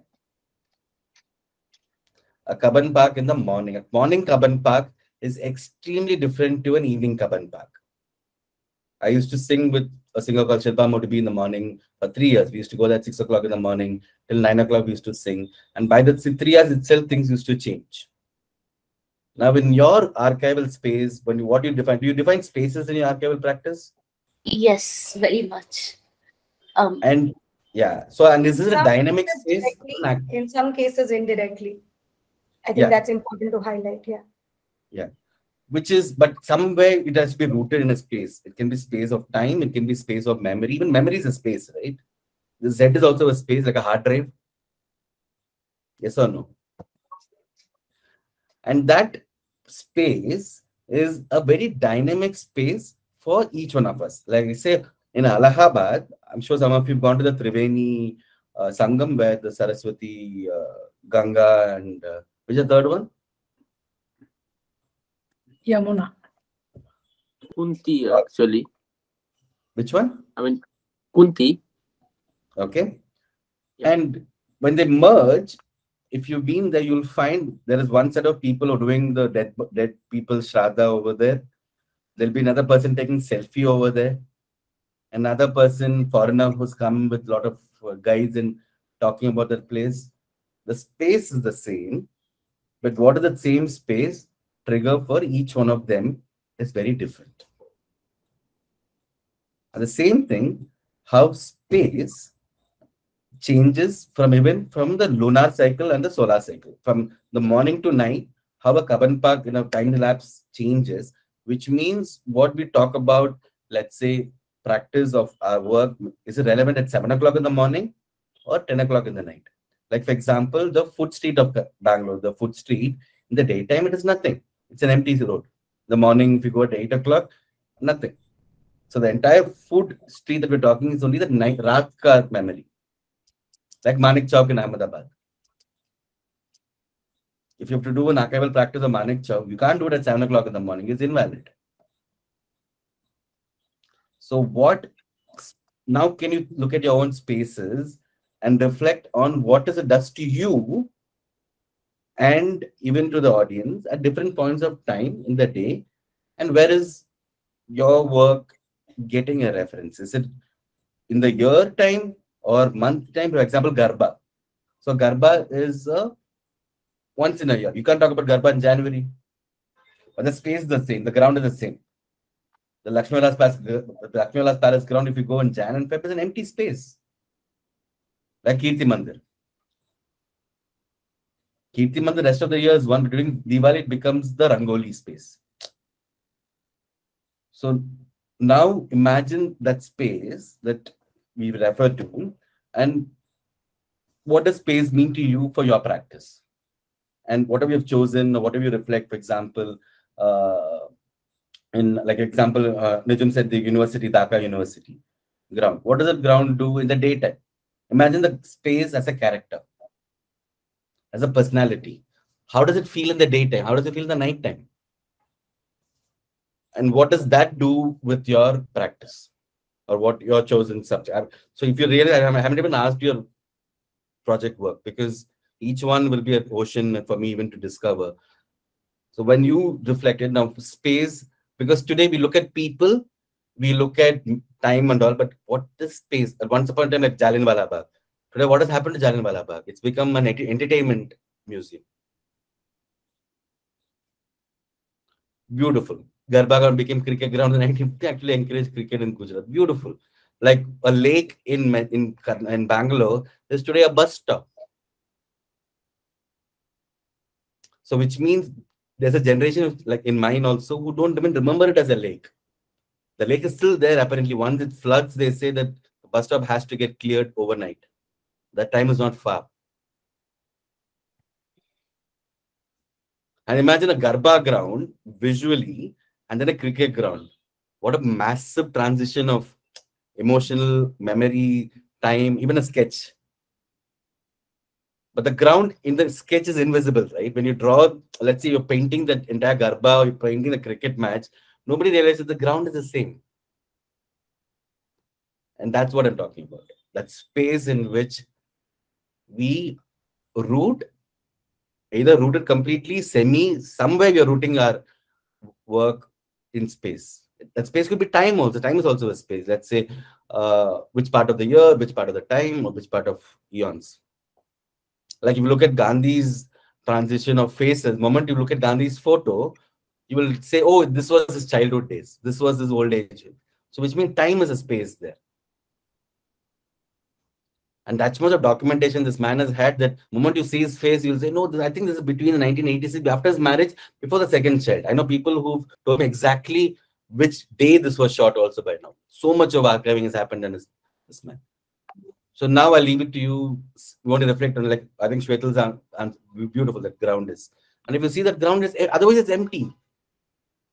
So emptiness to Garba to cricket, what a that ground is gone. And the ground lives after us. So the reason why I bring in spaces, spaces exist before us, in our life, and after us. Even objects don't exist, even material don't exist, museums don't exist, but the space exists. Even looking at rocks and sculptures as a space where sculpt sculpting has happened, that rock has travel time. That rock would have been a mountain at one point of time, cut into place, and the space of art has happened on the rock. And that is transiting. And that is much beyond us. Anything else? So anything that now it triggers you like the Garba ground? For you, what is it? Any example, any thought, any so the project that came to my mind for myself was um, the research on uh, women architects of India, which we started, and the shift of the space. For us, the starting space was uh, it was about it was supposed to be about the first generation, the ones who worked post independence.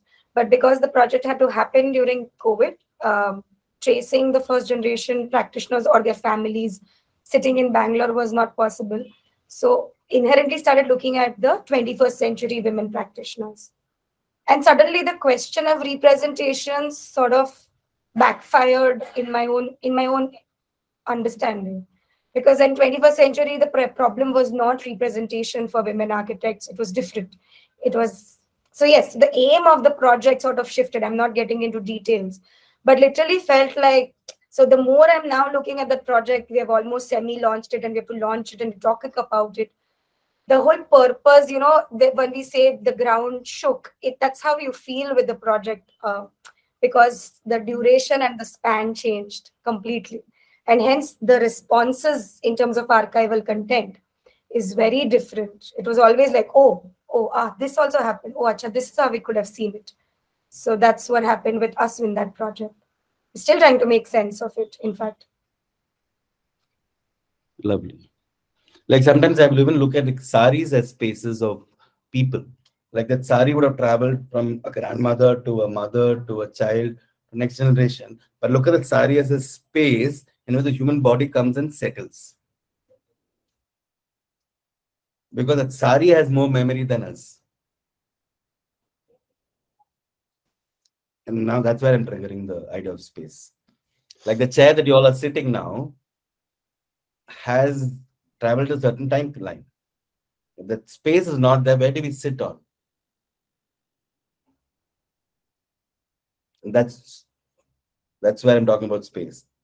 This room that you're all sitting right now, somebody else would have been there before you. Maybe not be the same architecture, but that space. And today, how spaces are changing. Like palaces in India have today become museums, right? At one point of time, this who who who are who could enter the palace, who couldn't enter the palace, who should enter the palace, who shouldn't enter the palace was very clear. And today, if it became a museum, how that same space has different movement of people and uh, so my father was a freedom fighter and uh, he was in jail in 1941 42 during the quit india movement. And um, uh, he was in sabarmati jail in ahmedabad. And uh, for years we did not have access to see where he was kept. It's only three years back that you know when we came to know that the it's going to be pulled down because the building had become derelict is when actually my mom and i and my daughter we went to see the jail and uh, like you said you know the spaces because it was going to be pulled down. Uh, and suddenly of course i knew everything about my mostly everything about my father's life and the freedom struggle and all of that. And suddenly when you see that space it all kind of you know the narrative just becomes different and you kind of put things into perspective. And then you know that space is also going to go away right? So the the transitory nature of space in that sense the you know the physical uh, transitions also that the spaces undergo uh, they also tell you so much about uh, you know the nature of the space so yeah, yeah. Beautiful. in fact Ahmed- ahmedabad university where it stands it used to be a cricket ground where uh, i used to go for all my walks after my heartbreaks so and then i see a building there and i'm sitting there in that same office you know so it is it, a- this is what spaces do it's it's very interesting to actually see the uh, it, it- to see how spaces change yeah No, lovely. So this is not like like you're saying jails in every like Freedom Park in Bangalore, which is like a nice little park that you can go take selfies and come. At one point of time, was a notorious place. So how we and today a lot of museums by themselves sit like that. A lot of public spaces sit on historical Oh, yeah. conflict and you go to the residency in Lucknow, for instance, right? Residency is like only history. You have bullet marks of those Britishers, the you know, and the Indians who were shot and all of that. Now it is notorious for a lot of side activities that goes on in residency. So yeah, it's and now I think spaces increasingly change very quickly also. I mean, earlier the spaces were a little, you know, sta- stabilized for a few years. Now I find, at least with, uh, you know, uh, with time, uh, increasingly faster that spaces are changing. Yeah. absolutely. And now today's spaces are also digital because now Zoom and Google Meet is a space, right? Like Google Meet is there. Like we will go out. Somebody else will come into the meeting. Oh yeah, yeah, yeah. Like like how uh, Orkut is now archived, right? so soon Facebook Facebook is going to be archived. No, they say Facebook is only for the older older people. The youngsters are not on Facebook, so number of people in Facebook is reducing. oh yeah, yeah. I'm told about it. So, in that way, how digital space like Instagram is now look at it as a space. What it was before the pandemic, post the pandemic, and what the space did for even communal uh, uprising. The Jallikattu movement completely happened on WhatsApp. So, you know, you're talking about spaces again when you talk about storytelling, also. Very interestingly, when I go to the classroom and I have to give a context to uh, something that I'm trying to explain, the context of the stories also have changed. So, that space has also changed, the storytelling space. Like nowadays, students do not have not read Arabian Nights. You know, they, they don't know who Sinbad the Sailor was, right? They don't know who Ali Baba was. So, for me, I've had to change even that storytelling within my classroom because the space the you know that space has also changed there i have to talk about netflix i have to talk about something from amazon or netflix to give them examples about what i'm trying to say yeah I, I was at I was at the Indian Music Experience Museum recently. I was doing something with the children, and at the end, I asked them, "What do you take away?" So they said, uh, "We've seen a sitar for the first time. We're seeing a harmonium for the first time." So what we uh, take for granted, an entire generation has not even seen musical instruments because Oh, they yeah, don't yeah, who has yeah. access. So there's access. So everything going to go faster. I mean, because now uh, a piano today can play sitar sounds to harmonium to uh, flute. So why do you even need a flute anymore? yeah but Now- you know that's where i think yeah but that's where the archives then make more sense right i mean they, they actually must be there because otherwise the point of context are all missing i mean what, So what and the trigger is why is also questioned, right? Because if you have a, like a tambura, you can't take a tambura everywhere in the world. It's such a difficult. Imagine a singer, and so that space of music, even from a instrument space, a flautist has a easier space to carry than a veena player. And then the veena gets changed into a certain, let's say, a laptop or a mobile phone. So I'm saying, what does it do even to the person who's carrying that space along? like artists who carry these because without that space, their art doesn't like a canvas, for example. What is a painter without that canvas? And what does the canvas do the next generation? What is the canvas behind it? In front of it is worth lakhs. Just turn and ask people to buy it. So which part of the space is tangible? Where, where are we talking about? What are we referring to? So I was very curious at this point if Nijum wanted to share why Dhaka University as a space is important to her project. First in your in your case, the idea of the home. Has it shifted? Has it changed? Especially because your project is so much to do with the space very directly. So actually, I'm uh, developing the ideas like navigating the objects, whatever I have started cataloging. So uh, I have prepared a kind of presentation I can share with uh, you all. So like how uh, my work is like going on. So yeah, I'm like uh, using those archival uh, objects, like uh, not only objects, uh, few materials and all, to uh, develop my artwork. Like how can I uh, facilitate those stories in my artwork? Like I mean, you know, you know. So yeah, I can share with you all like how I'm like going through the things. If you want to share screen and show, that will help. I mean, that can be done right now also. Okay, okay, I can just do it. Uh, meanwhile, I would just like to add that the space for me, my home, it has uh, now changed, though I'm still living in the same place for the simple reason I lost my husband.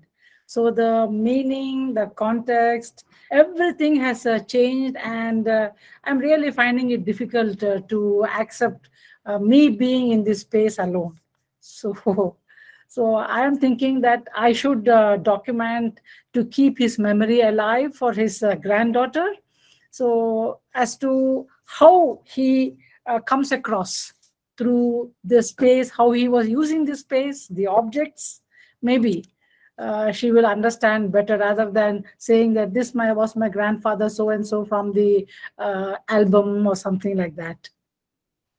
Because I think, so Vikram, to give you context, particularly Kaustav's work, uh, even for us, I feel, I think I speak for the whole group, I think it's so much embedded in the visual that um, the whole project itself, that seeing what he's trying or what he's doing might give you also a better sense. I know the abstract was there, but So yeah, um, this uh, project I have started after joining this workshop, and I, I have thought of like uh, how I can uh, work with archival materials uh, as uh, in my artistic practice. Like I mean, I'm I'm not an archivist in the sense, but I uh, always uh, fond of with archival materials in my home and uh, like how can I use, how can I recontextualize it uh, through my practice. So mm, this project uh, I um, uh, is like objects in transit. Like I'm trying to trace the those objects and stories and narratives, like uh, which actually in transition from one space to another space. Like and the narration is actually through uh, the like I mean you know ships of a family and in context of uh, like omen like my mother her mother and uh, my mother's mother. So it's like three generations of uh, bride who are actually coming from one space to another. So this project uh, called projotne uh, which i have like i mean it's not a uh, it's like randomly i thought the name. This projotne means care of so we always uh, like used to write in our letter or wh- wherever we are uh, addressing our address we use that like care of. So mm and uh, so i'd like to start with this image uh, which is uh, actually in Jasidih uh, of my maternal grandfather in of my uh, who is in his garden who has that uh, business of uh, plants. Uh, so he's standing in uh, mm, his garden at Jasidih. And this photograph is actually uh, from around 1940s, like when my maternal grandfather was around age of 35. So it's collected from Chuchura and now it's uh, in collection of my mother, Ratna Chatterjee. So I'm just trying to navigate uh, photograph, old photograph as uh, archival objects, memory, and uh, it, it could how it could be a tool to uh, like I mean you know re, I mean rethink my practice like the home and all. So and this is a page from my scrapbook like what I called Roj Namcha this book titled and there, there is a two photograph of my mother at another garden in the in the house of Chuchura. There is also that business of plant shifted in Chuchura due to that uh, partition of Bangla and Bihar after uh, like partition of Bangladesh and India. So uh, it's like uh, that they had to shift from Bihar to West Bengal in some way or like in the barrier of language. So these all are there. Like I have been listening uh, from my mother, the stories, how they shifted, and all. So with those objects and uh, kind of like a few objects also they lost. They've lost a lot of things. And uh, this this like my I'm just took a photograph of my uh, research journal. That's how I'm uh, working with uh, the materials and stories, like collecting and everyday listening of my uh, mother and grandmother. So like I mean, you know, I have a lot of recordings also, like voice recordings and all. These letters are uh, uh, from my mother's collection. Her father's letter was writing. Uh, these letters are from actually written at Deoghar when they were just tend to shift in Chinchura, and this letter contains the like information and emotions also, as uh, Vikram was been mentioning, like the how much brick uh, like the uh, what could I say the price of bricks like it's like very cheap price and the letters are around from uh, 1960s so a lot of things like price of a rice I can uh, like uh, I mean you know locate. So what was there in uh, like and the main concern with this letter is like uh, the the time of shifting. So I have a lot of I mean my mother's have a lot has a lot of letters but I have chosen uh, few i mean few of them like four letters from the that collection. This is a small almira. It's a toy almira uh, which is made of buffalo horn uh, and it's also in collection of my mother. It's uh, around uh, from 1920s approx. Like how we can locate is like uh, who gave it to my mother and and all elsewhere. So that's how we locate the date. It's not the exact date so i must say so um, yeah, is actually given by my maternal uh, grandmother to her from Bangladesh. Actually, my mother's mother is from Bangladesh. So it was like that. So the objects are coming from various places. Now those are stuck in Boichigram, like where I'm living now. And uh, these are two flower vase also is is, is around from uh, like the same uh, time 19 1920 or 1915 around. So these are like made of uh, stained glass amalgam, like the kind of glass flowers. And this is like I have uh, like jotted down like how objects are coming into a place. Like there's a few places: Jasidih, Khulna, and Satkhira, Deoghar, Chuchura, and Boichigram. Like objects are coming from uh, one place to another through stories, not only objects, through stories, through emotions, and uh, like with the people also. Not only like objects are coming, people are shifting. It's like that.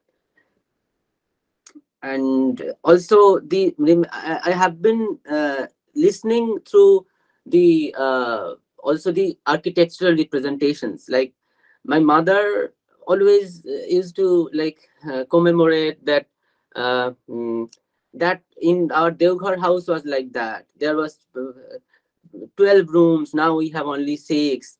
So it's like that. So there was like big garden, courtyards. So these are like architectural memories. Also, I have been consuming in some way. Also, it's it's it's uh, locating the shifts. Ah, like three to four places from Deoghar to Chuchura, Chuchura to Boichigram for uh, Chuchura to Boichigram for her marriage. So it's like uh, uh, mobility, how it's occurring. And uh, this is a object uh, gifted by my maternal grandmother to my maternal elder maternal uncle from Bangladesh. I haven't seen that object. I just have listened the uh, like nar narrative of that object, how it is, how it was, but it's not there anywhere in the world. It's I've discarded somehow. I don't know, but I have drawn the objects that how it could be. So um, it was like that. I can make a painting out of it or make that a sculpture or something like that. But it's it's no longer in the world. But the memory, the emotions, it, it's there. It exists. And this is a just drawing like how my mother has to shift her uh, surname from Mukherjee to Chatterjee. Uh, so it's also a shift. I'm just locating the shifts. So how uh, emotions, memory, and shift works. So yeah, and this is a video works I'm working on with documenting the uh, narrations of with my like uh, how she used to narrate those stories with photographs and objects and uh, and the things uh, she can remember whatever and and also this uh, my mother has been how she has been narrating her stories is also there is a part uh, which uh, contains the uh, anecdotes of katha. Like uh, there's a like very interesting it's it, i would say it's a story.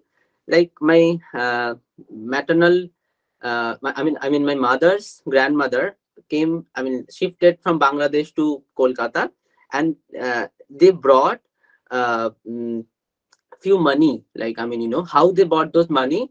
With the katha like stitched within the katha.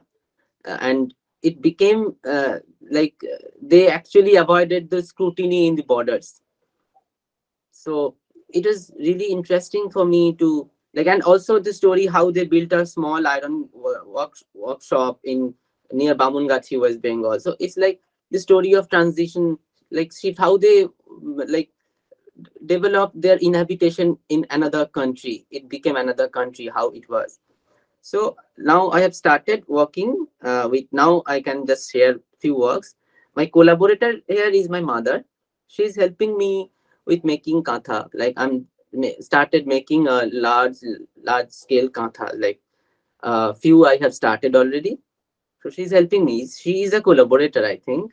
I mean, I would say like that. I don't know, but yeah she's happily collaborating and doing you and telling her, her story. Yeah? You are her collaborator. She is the main artist.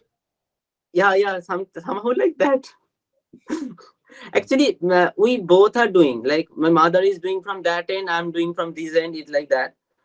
So no, um, how, how, yeah. how are you able to bring in her practice into contemporary yeah yeah yeah yeah so um, and these are like process i was been washing her old clothes, saris, and making it in a like I mean worthy to work, like all those everyday stresses she I mean that had in like in the saris like oils and kitchen marks etc. So it's somehow it's removed, but it's there definitely. So and uh, you can see the I I have removed the shari borders here. It's like only the body part so this is a formation of katha like it's like initiate i mean initial stage so and all and uh, then uh, the two media three mediums i'm working with uh, within the concept concept like it's a trans i don't know trans uh, medial or something i can say uh, whatever. So it's like how uh, whatever medium i'm feeling it can go i'm using this. So i'm also working with book like bookmaking. And uh, how it can work with the idea of shapes and the stories objects. So i'm planning i'm also making of books like few books. And amalgamating with those photographs like recreating and reprinting those photographs in a certain manner and placing and uh, like just juxtaposing randomly in a book format. These are this is a one example uh, it's not the final one or it's there is no final thing but it's like i'm just putting and uh, looking at how it work how it will work or something like that it's like it's working with architectural memory like arch- architectural space how she has uh, been uh, like i mean demonstrate like that the architecture was like that. And i put uh, there her mm, like her image and her husband and like sons and daughters. So it's like that in a way uh, the shapes and the space the architecture is in another space but the photographs in another space. Like uh, i mean like conjugating the two different spaces in one space and how it could be a readable object. So it's actually not that archiving any particular archival object but it's ar- ar- archiving the stories archiving the emotions. I have she has and the family or I, I mean it's a community has. So yeah this is also another format of book i've been working. And uh, it is also it would be illustrated in some way like Katha also. Katha would be also illustrated and books are would be also illustrated in some way. It's not like a painting as such, like in a hierarchical manner. It's a painting. It's like illustration or doing just to translate the narrations I have I have been listening and so on. So this is a photograph of the new built house at Chinchura. I just conclude with this photograph and and yeah it's a garden. It was a garden then the three children were there my mother's cousins.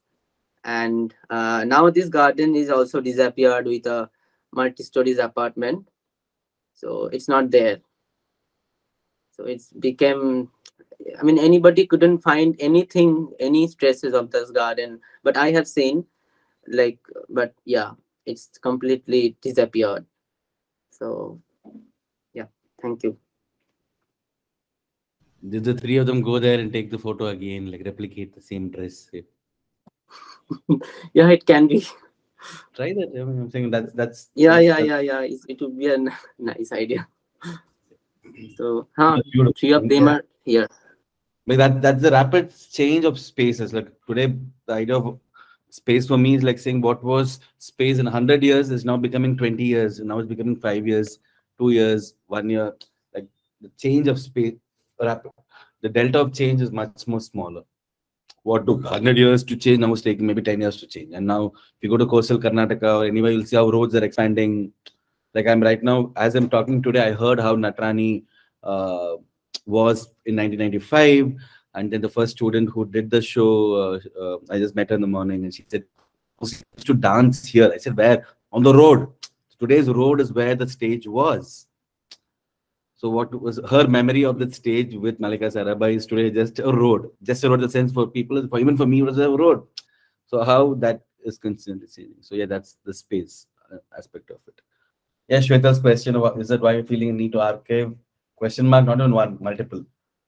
Rapid loss of space rapid changes in people's like how even people's dressing is slowly changing. Dress is another thing that like like textile and how we put four generations together how much of change when addressing dressing is changing so yes physical space is definitely one. So space in multiple contexts what means to each one of us is um, like freedom park like i said in bangalore how for like like spaces like spaces which we keep moving away somebody else will come and occupy. Space is the same. Like as when in our 20s we'll we'll occupy a certain space. Let's say we might go to a lot of i mean even a recreation center or something. In 30s same people so we'll go to maybe hospitals more and then 40s we'll go to children's i'm just talking about the progression of life but the space attracts people again from a different generation like brigade road i think let's say 2000 when maybe when um, i moved to bangalore would have been one and now I might go to another space, but the people coming to Brigade Road is still the same. The space is still the same. And how people come and go, people come and go, look at like a fast moving thing. And we might move and say, oh, those days I used to go there regularly. We use that context a lot of times. But the space is still the same.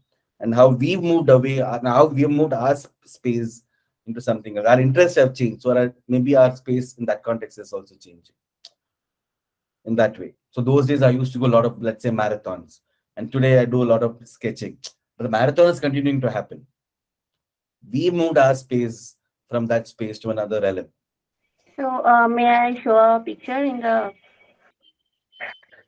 So uh, this is the photo from Mongol Shobhajatra 1989. Um, I'm going to archive here in this project uh, Mahbubur Rahman and Tayeba Begum Lipi. And the time zone is 90s, uh, mostly from late 80s to 90s. So uh, why the place in Dhaka University area is important, but because uh, the partition is initially happened in 1905 and it's closed in 1911, uh, 1911 and after that there is a political decision that uh, we need to create a university in this area. And then 1921 dhaka university created. And all of our presidents scholars uh, prime ministers political persons uh, scientists cultural persons all are from dhaka university. So this is the story of bangladesh. If you want to uh, dig out any one of them in a particular place they are from dhaka university uh, the language movement in 1952 born in Dhaka University. The 71 uh, liberation war, before the liberation war, there is the uh, there was a uh, uh flag uh, flag. Uh, we used to use our flag here in Dhaka University campus the first time.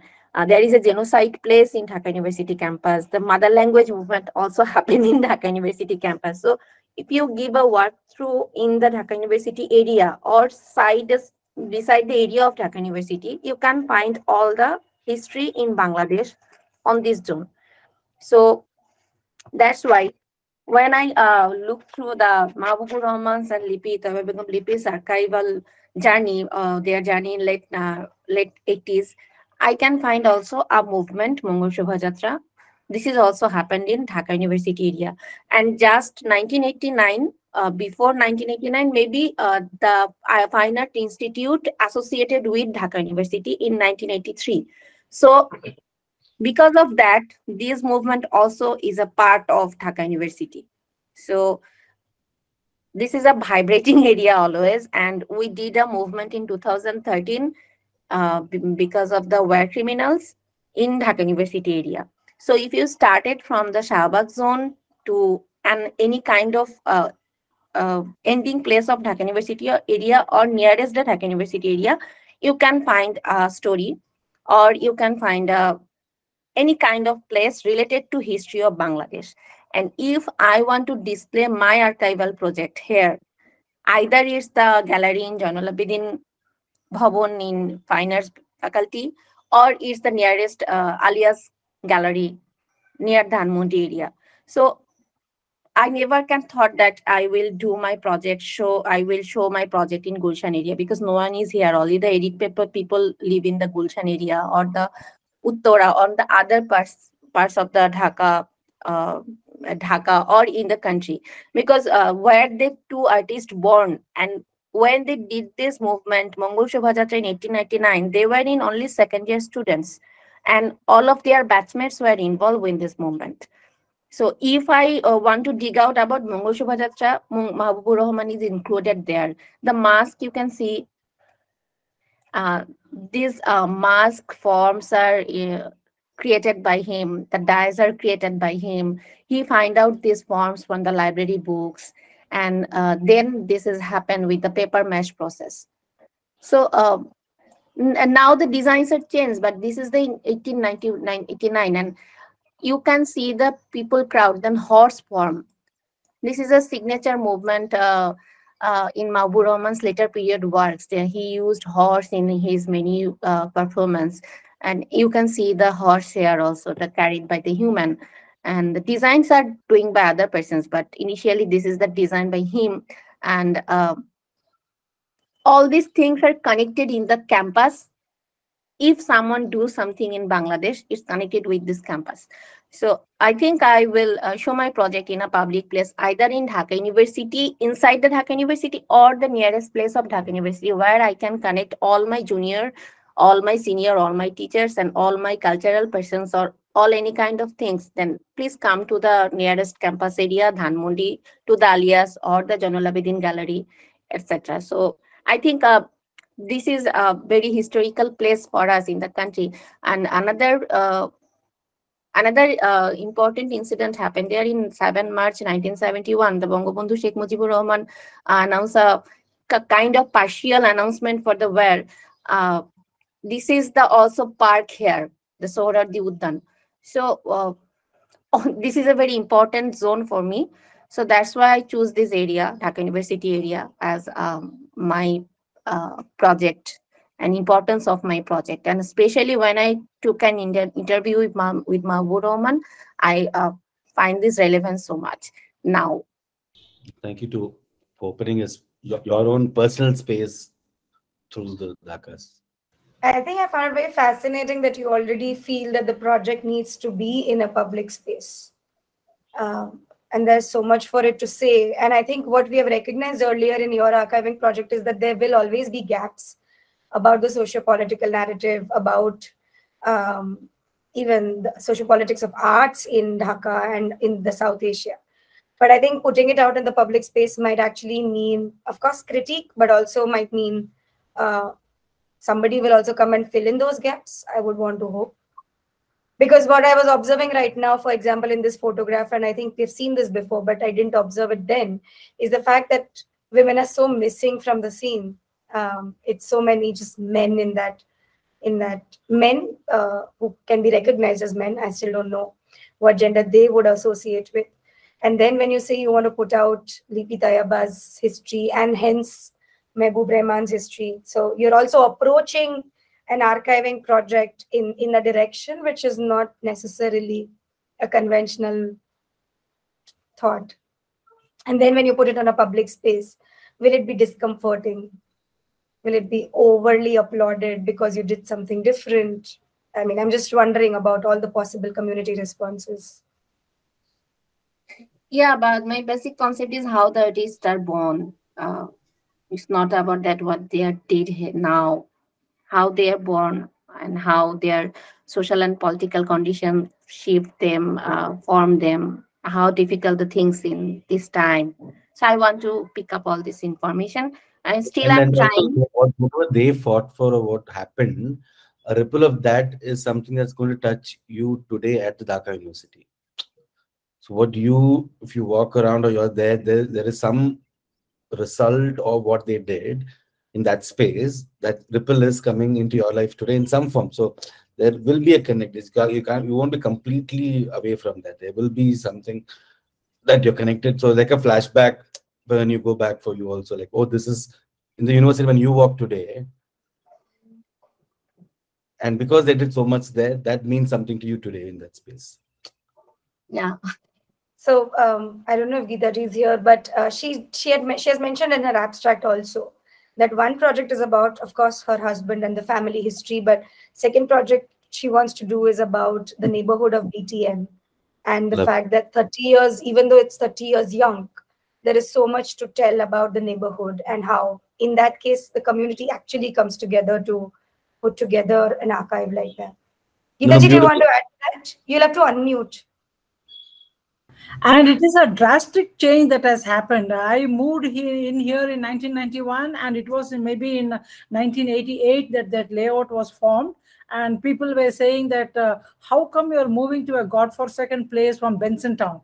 Benson town in central uh, um, district was uh, so very uh, very popular address. We are going into a far off place so far off but today this is a uh, this is a, i mean with the metro station coming it is a ticket to I don't know, the prices, real estate prices have increased, and you have a good proportion of the IT people. And I think the entire uh, uh, topography and uh, also the type of people that were there earlier, it was most bank people. Now you find it is taken over by the IT, and there were so much of orchards wherein there were mango trees, sapota trees, and uh, cash crops like that. Today it is all uh, multi-storied buildings and apartments. The face has changed, the space has changed, and before people forget the BTM of uh, uh, 40 years or so, I thought, let me take this as a project on behalf of uh, Destination Heritage. So I'm saying, I think in Ishita's and our own life, I've seen BTM without the metro train where I can see the sky. So you cannot see the sky on that road. The sky it's one of those areas going to be completely covered with a flyover and a metro station in the same road and no sunlight. It's going to be a non-sunlit road. And there was a time, uh, Vikram, that there was no road. In 1989, when we shifted here, the uh, autos refused to come beyond uh, the Jayadeva. It was a circle point there. They refused to come beyond that. And it was very scary for us to move the rice to come from the bank. It used, uh, I used to come from the bank around 7, 7.30 and then uh, it would be very eerie because nobody used to come and my husband used to come to pick me up at some point and we used to go, there was Aikobu Nagar, the bank officers uh, colony. And then we got a proper road when uh, um, previous, um, the president, Sanjeev Kumar, uh, when he uh, married, uh, his son married a daughter, a police officer's daughter, we got a road and we got a telephone, uh, telecom uh, uh, office also there. Till such time we had no such facilities, no telephone tower, nothing like that. So that was the time. And to think now that there is a traffic jam happening every day at eight o'clock near the Silk Board, it is uh, we have traveled so much and things have changed so much that uh, I myself am surprised because uh, in those days at about 10 o'clock, these Maruti cars, the vans, they they used to have the film in them and they used to carry, uh, I think, uh, so many of those weapons from Hosur to this thing. There used to be a check post uh, uh, almost uh, near the bank officers colony before you come into the, um, uh, the Jayadeva. So there used to be a police uh, checkup to see if what they are doing, if there is activities. And sometimes we would see that uh, the we would get up in the night at about one o'clock, two o'clock, because those vehicles were stopped by the uh, police. It was unexpected, putting full brake, and they're trying to escape. A p- police going behind them. There were lots of drama happening also. So to think that in that place today we have a, a flyover coming and all that, I think there will be so many old timers here who can add value addition to what I'm saying. So I, I'm going to like barge in again. I have stayed in BTM layout, but this was in 2000s. And for me, I have no idea about anything of what you said about BTM layout because for me, it was like a migrant uh, hub, you know, because there were so many migrants like us who were in BTM. And uh, uh, I mean, I lived in a really, really small, uh, cramped place. Um, but I do remember that uh, it was fairly multicultural uh, by the time we were there in the 2000s. So, and and I do remember because I used to teach at Christ University, so for me it was close by, so which is where I used to stay at BTM. But um, uh, I mean, for me, I have a very different perception about BTM. Uh, so uh, it would really help to, especially when you talk about community archiving and you know uh, all of that. This this sort of a uh, you know, just even a center there to kind of show what BTM used to be and what it is now uh, would give a good perspective because for somebody like me, I have no idea, right? I mean, I'm just staying there temporarily and, you know, then moving out and. Um, and, and, Christ College was considered godforsaken. The word used. Oh yeah, yeah. Christ College ಆಮೇಲೆ ಅದು ಕಾಡದೆ ಏನದೆ. Think. And today they today they have a also notorious branch yeah. operating from Bannerghatta campus, and it has got about five to six thousand uh, stronghold uh, student community there. And there you have you find lots of PG apartments coming. All the students yeah, yeah. found accommodation there. So there's again evolving into a. Tavrekere. Tavrekere is where the students. now it is Arekere also, Hulimavu and Arekere. Yeah, Because yeah, yeah. PG No, but I do have, you know, BTM. I remember because that was the one place where we'd get And then litti now she's chokha. Uh, special curatorial course only on Bangalore and his archival lanes. so it is, I mean, lasting, I mean, I like, for example, the, the Jayadeva underpass, Just come in a I've minute. seen it being built, I'm seeing it being destroyed both at the same time. In in 20 Yeah. years, the flyovers got broken and built, and so who else is who what's what joy? But you have to give employment, no, Vikram. How will how are we going to create employment if we don't pull down things and then get them up Yeah, again? that's economical. Today with metros, you'll see how metro is uh, driving unwanted. I don't even know what's needed. Like Indore has a metro station. It does enough roads to go, but why do you need a metro? Because the capitalist world. I'm saying the idea of metros in India is itself is a subject to think of. Do we need it? Do we? Yeah, yeah, yeah, yeah. Ahmedabad also has a metro now. Yeah, I mean, Who's going to it's use it is a question. Still have some, like Bhopal, Indore. I mean, no idea why metro is coming into places where there's still lovely roads. But yeah, I mean, that's some question across India. I'm asking why do we, why does city need a uh, metro itself? I mean, why do, what are we doing to? Maybe based on population projections and all of that is when they're deciding population projection, uh, the vehicles and all of that. Maybe, I mean, at least the rationale doesn't come out clearly when they construct. There's no rational. I mean, there's no map. If, like example, the Bangalore metro, when the design, when you look at the initial design and the need of it, and then now how it's stalled at a lot of like Koramangala, the flyover has uh, uh, now full trees growing on the flyover because it's been stopped for three years, four years. So how do we look at development as pausing to even just move around Mm, planning? Mm. Yeah. Yeah. No, but the I BTM thing. kind of- sorry. mm, go on. No, no, no. Go on. Go on. So in this kind of rapid uh, change, which we are all sort of talking about, I'm just connecting it back to. So this is why again archiving at personal or at community level, as Tana was also highlighting, is becoming very critical. Because constantly, one of the questions we are asking at this end while we're doing these programs is that why are we doing these programs? Why are there takers for it? Why is there so much of an interest? So one reason was obviously pandemic. Okay, suddenly everybody's inward looking, but no, it's not just that. The fact that uh, history is being rewritten so fast, so quickly that you said that Tendulkar has already become an archive, uh, or neighborhoods are changing so, cities are changing so drastically. Reasons are many, and because of which archiving is becoming a very critical form of knowledge production rather than the slow invested research. Of course, archiving is also slower but at least you are able to collect maybe faster than uh, getting into just an academic research of reading into materials and waiting for things to waiting for the gestation period because you never know things will be lost. So now the, the it's not the unsung which we are worried about. Now it's about things will be lost time because we don't even know what to keep and not keep when places are changing. So we are all discarding this first exercise that we did vikram. The question was what are we discarding and why? There's a lot of discarding happening when we move but are we very conscious of what we are discarding and why? And so it's it's applicable at a very larger scale as well when these things change in a city so i just wanted to bring it to that point. Why why are we talking about these changes in the spaces? Um, if any if you feel differently if anybody has a different thought around it. I want to to add one thing like uh, it's also like uh, you, can say it's the story. Like when uh, my maternal grandmother um, came to uh, I mean, like uh, her he married I mean she married a um, man in the, the marriage ceremony was uh, like before partition so she uh, I mean came to from uh, Satkhira or Khulna to uh, I mean Deoghar. So that time it was like a one country, and uh, I have listened that story like uh, from my grandmother. So sh- after her marriage, she never went to uh, Bangladesh. I mean that time it was not like that Bangladesh India. It was a Bengal. So mm, she never went to that her mm, like uh, her place.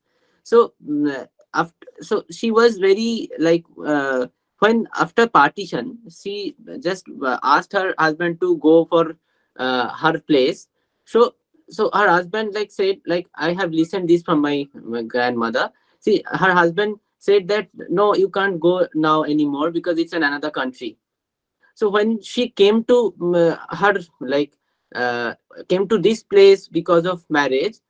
It was not that kind of space but space changed after partition like when it became a, another country. So she can't go easily. So that's why she even never uh, i mean went to that place after her marriage. So it was like i uh, realized somehow ki how actually not the family not the home changes. It's like uh, whole country changes like uh, uh, through the family, like a small story, small emotions. It's it's actually up to the greater national thing. I, I don't know. It's a it's really and also at a societal Yeah. thing, right? So I have a very similar story with my grandmother being from Karachi. And when I asked her, I didn't ask her much, is my problem, but I just remember asking her as a very young girl, why didn't you go back? I mean, of course, I knew the political answer, but I think between their marriage and the Pakistan becoming a different country and all of that, her answer was that, oh, but after marriage, you don't even think about going back to your hometowns. So it was also a societal conditioning that there was no yearning that I felt in her that, oh, uh, we don't have any more reminiscence of our homes in Karachi. We can't show it to our grandchildren, anything like that. For her, it was a given that, yes, now you're married and it was not that far away. They were in Himmatnagar. So the, the, the land is really connected from there. So it was not even distance or logistics. She just said, yeah, you don't go after you're married into, uh, married into another state or a city. So that now, when I think about it, is so painful that not just the political narrative, but the society also inhibits you from reconnecting back with your spaces. And I don't know if no, we don't have any archives of them, so that that history is now. In that case, like uh, partition became an excuse only. There is a lot of another issue because now it's another country. You can't go easily, so it's an excuse only. Yeah, I get it. Actually, you know, all this also also also gets me to look at the question of memories because memory studies is also coming up in a very big way along with archives and history memory studies uh, by its, by itself as a discipline is also picking up and uh, what we choose to remember and how we choose to remember also has uh, enough politics around it right? Be it the smallest of personal memories to the memories of a place to a city to a nation. Uh, what are the memories that we choose to uh, preserve and what are we what are the ones that we discard? So for instance my research looks at the memories which uh, have not been preserved or or were very clearly sidelined because of the region that that i'm looking at. So um, so memory studies also might be uh, an interesting place for everyone here to also explore. Maybe just read up about memory studies and and and um, yeah so you know like like Shwetal says it is letting go was so much easier for older generation and moving on.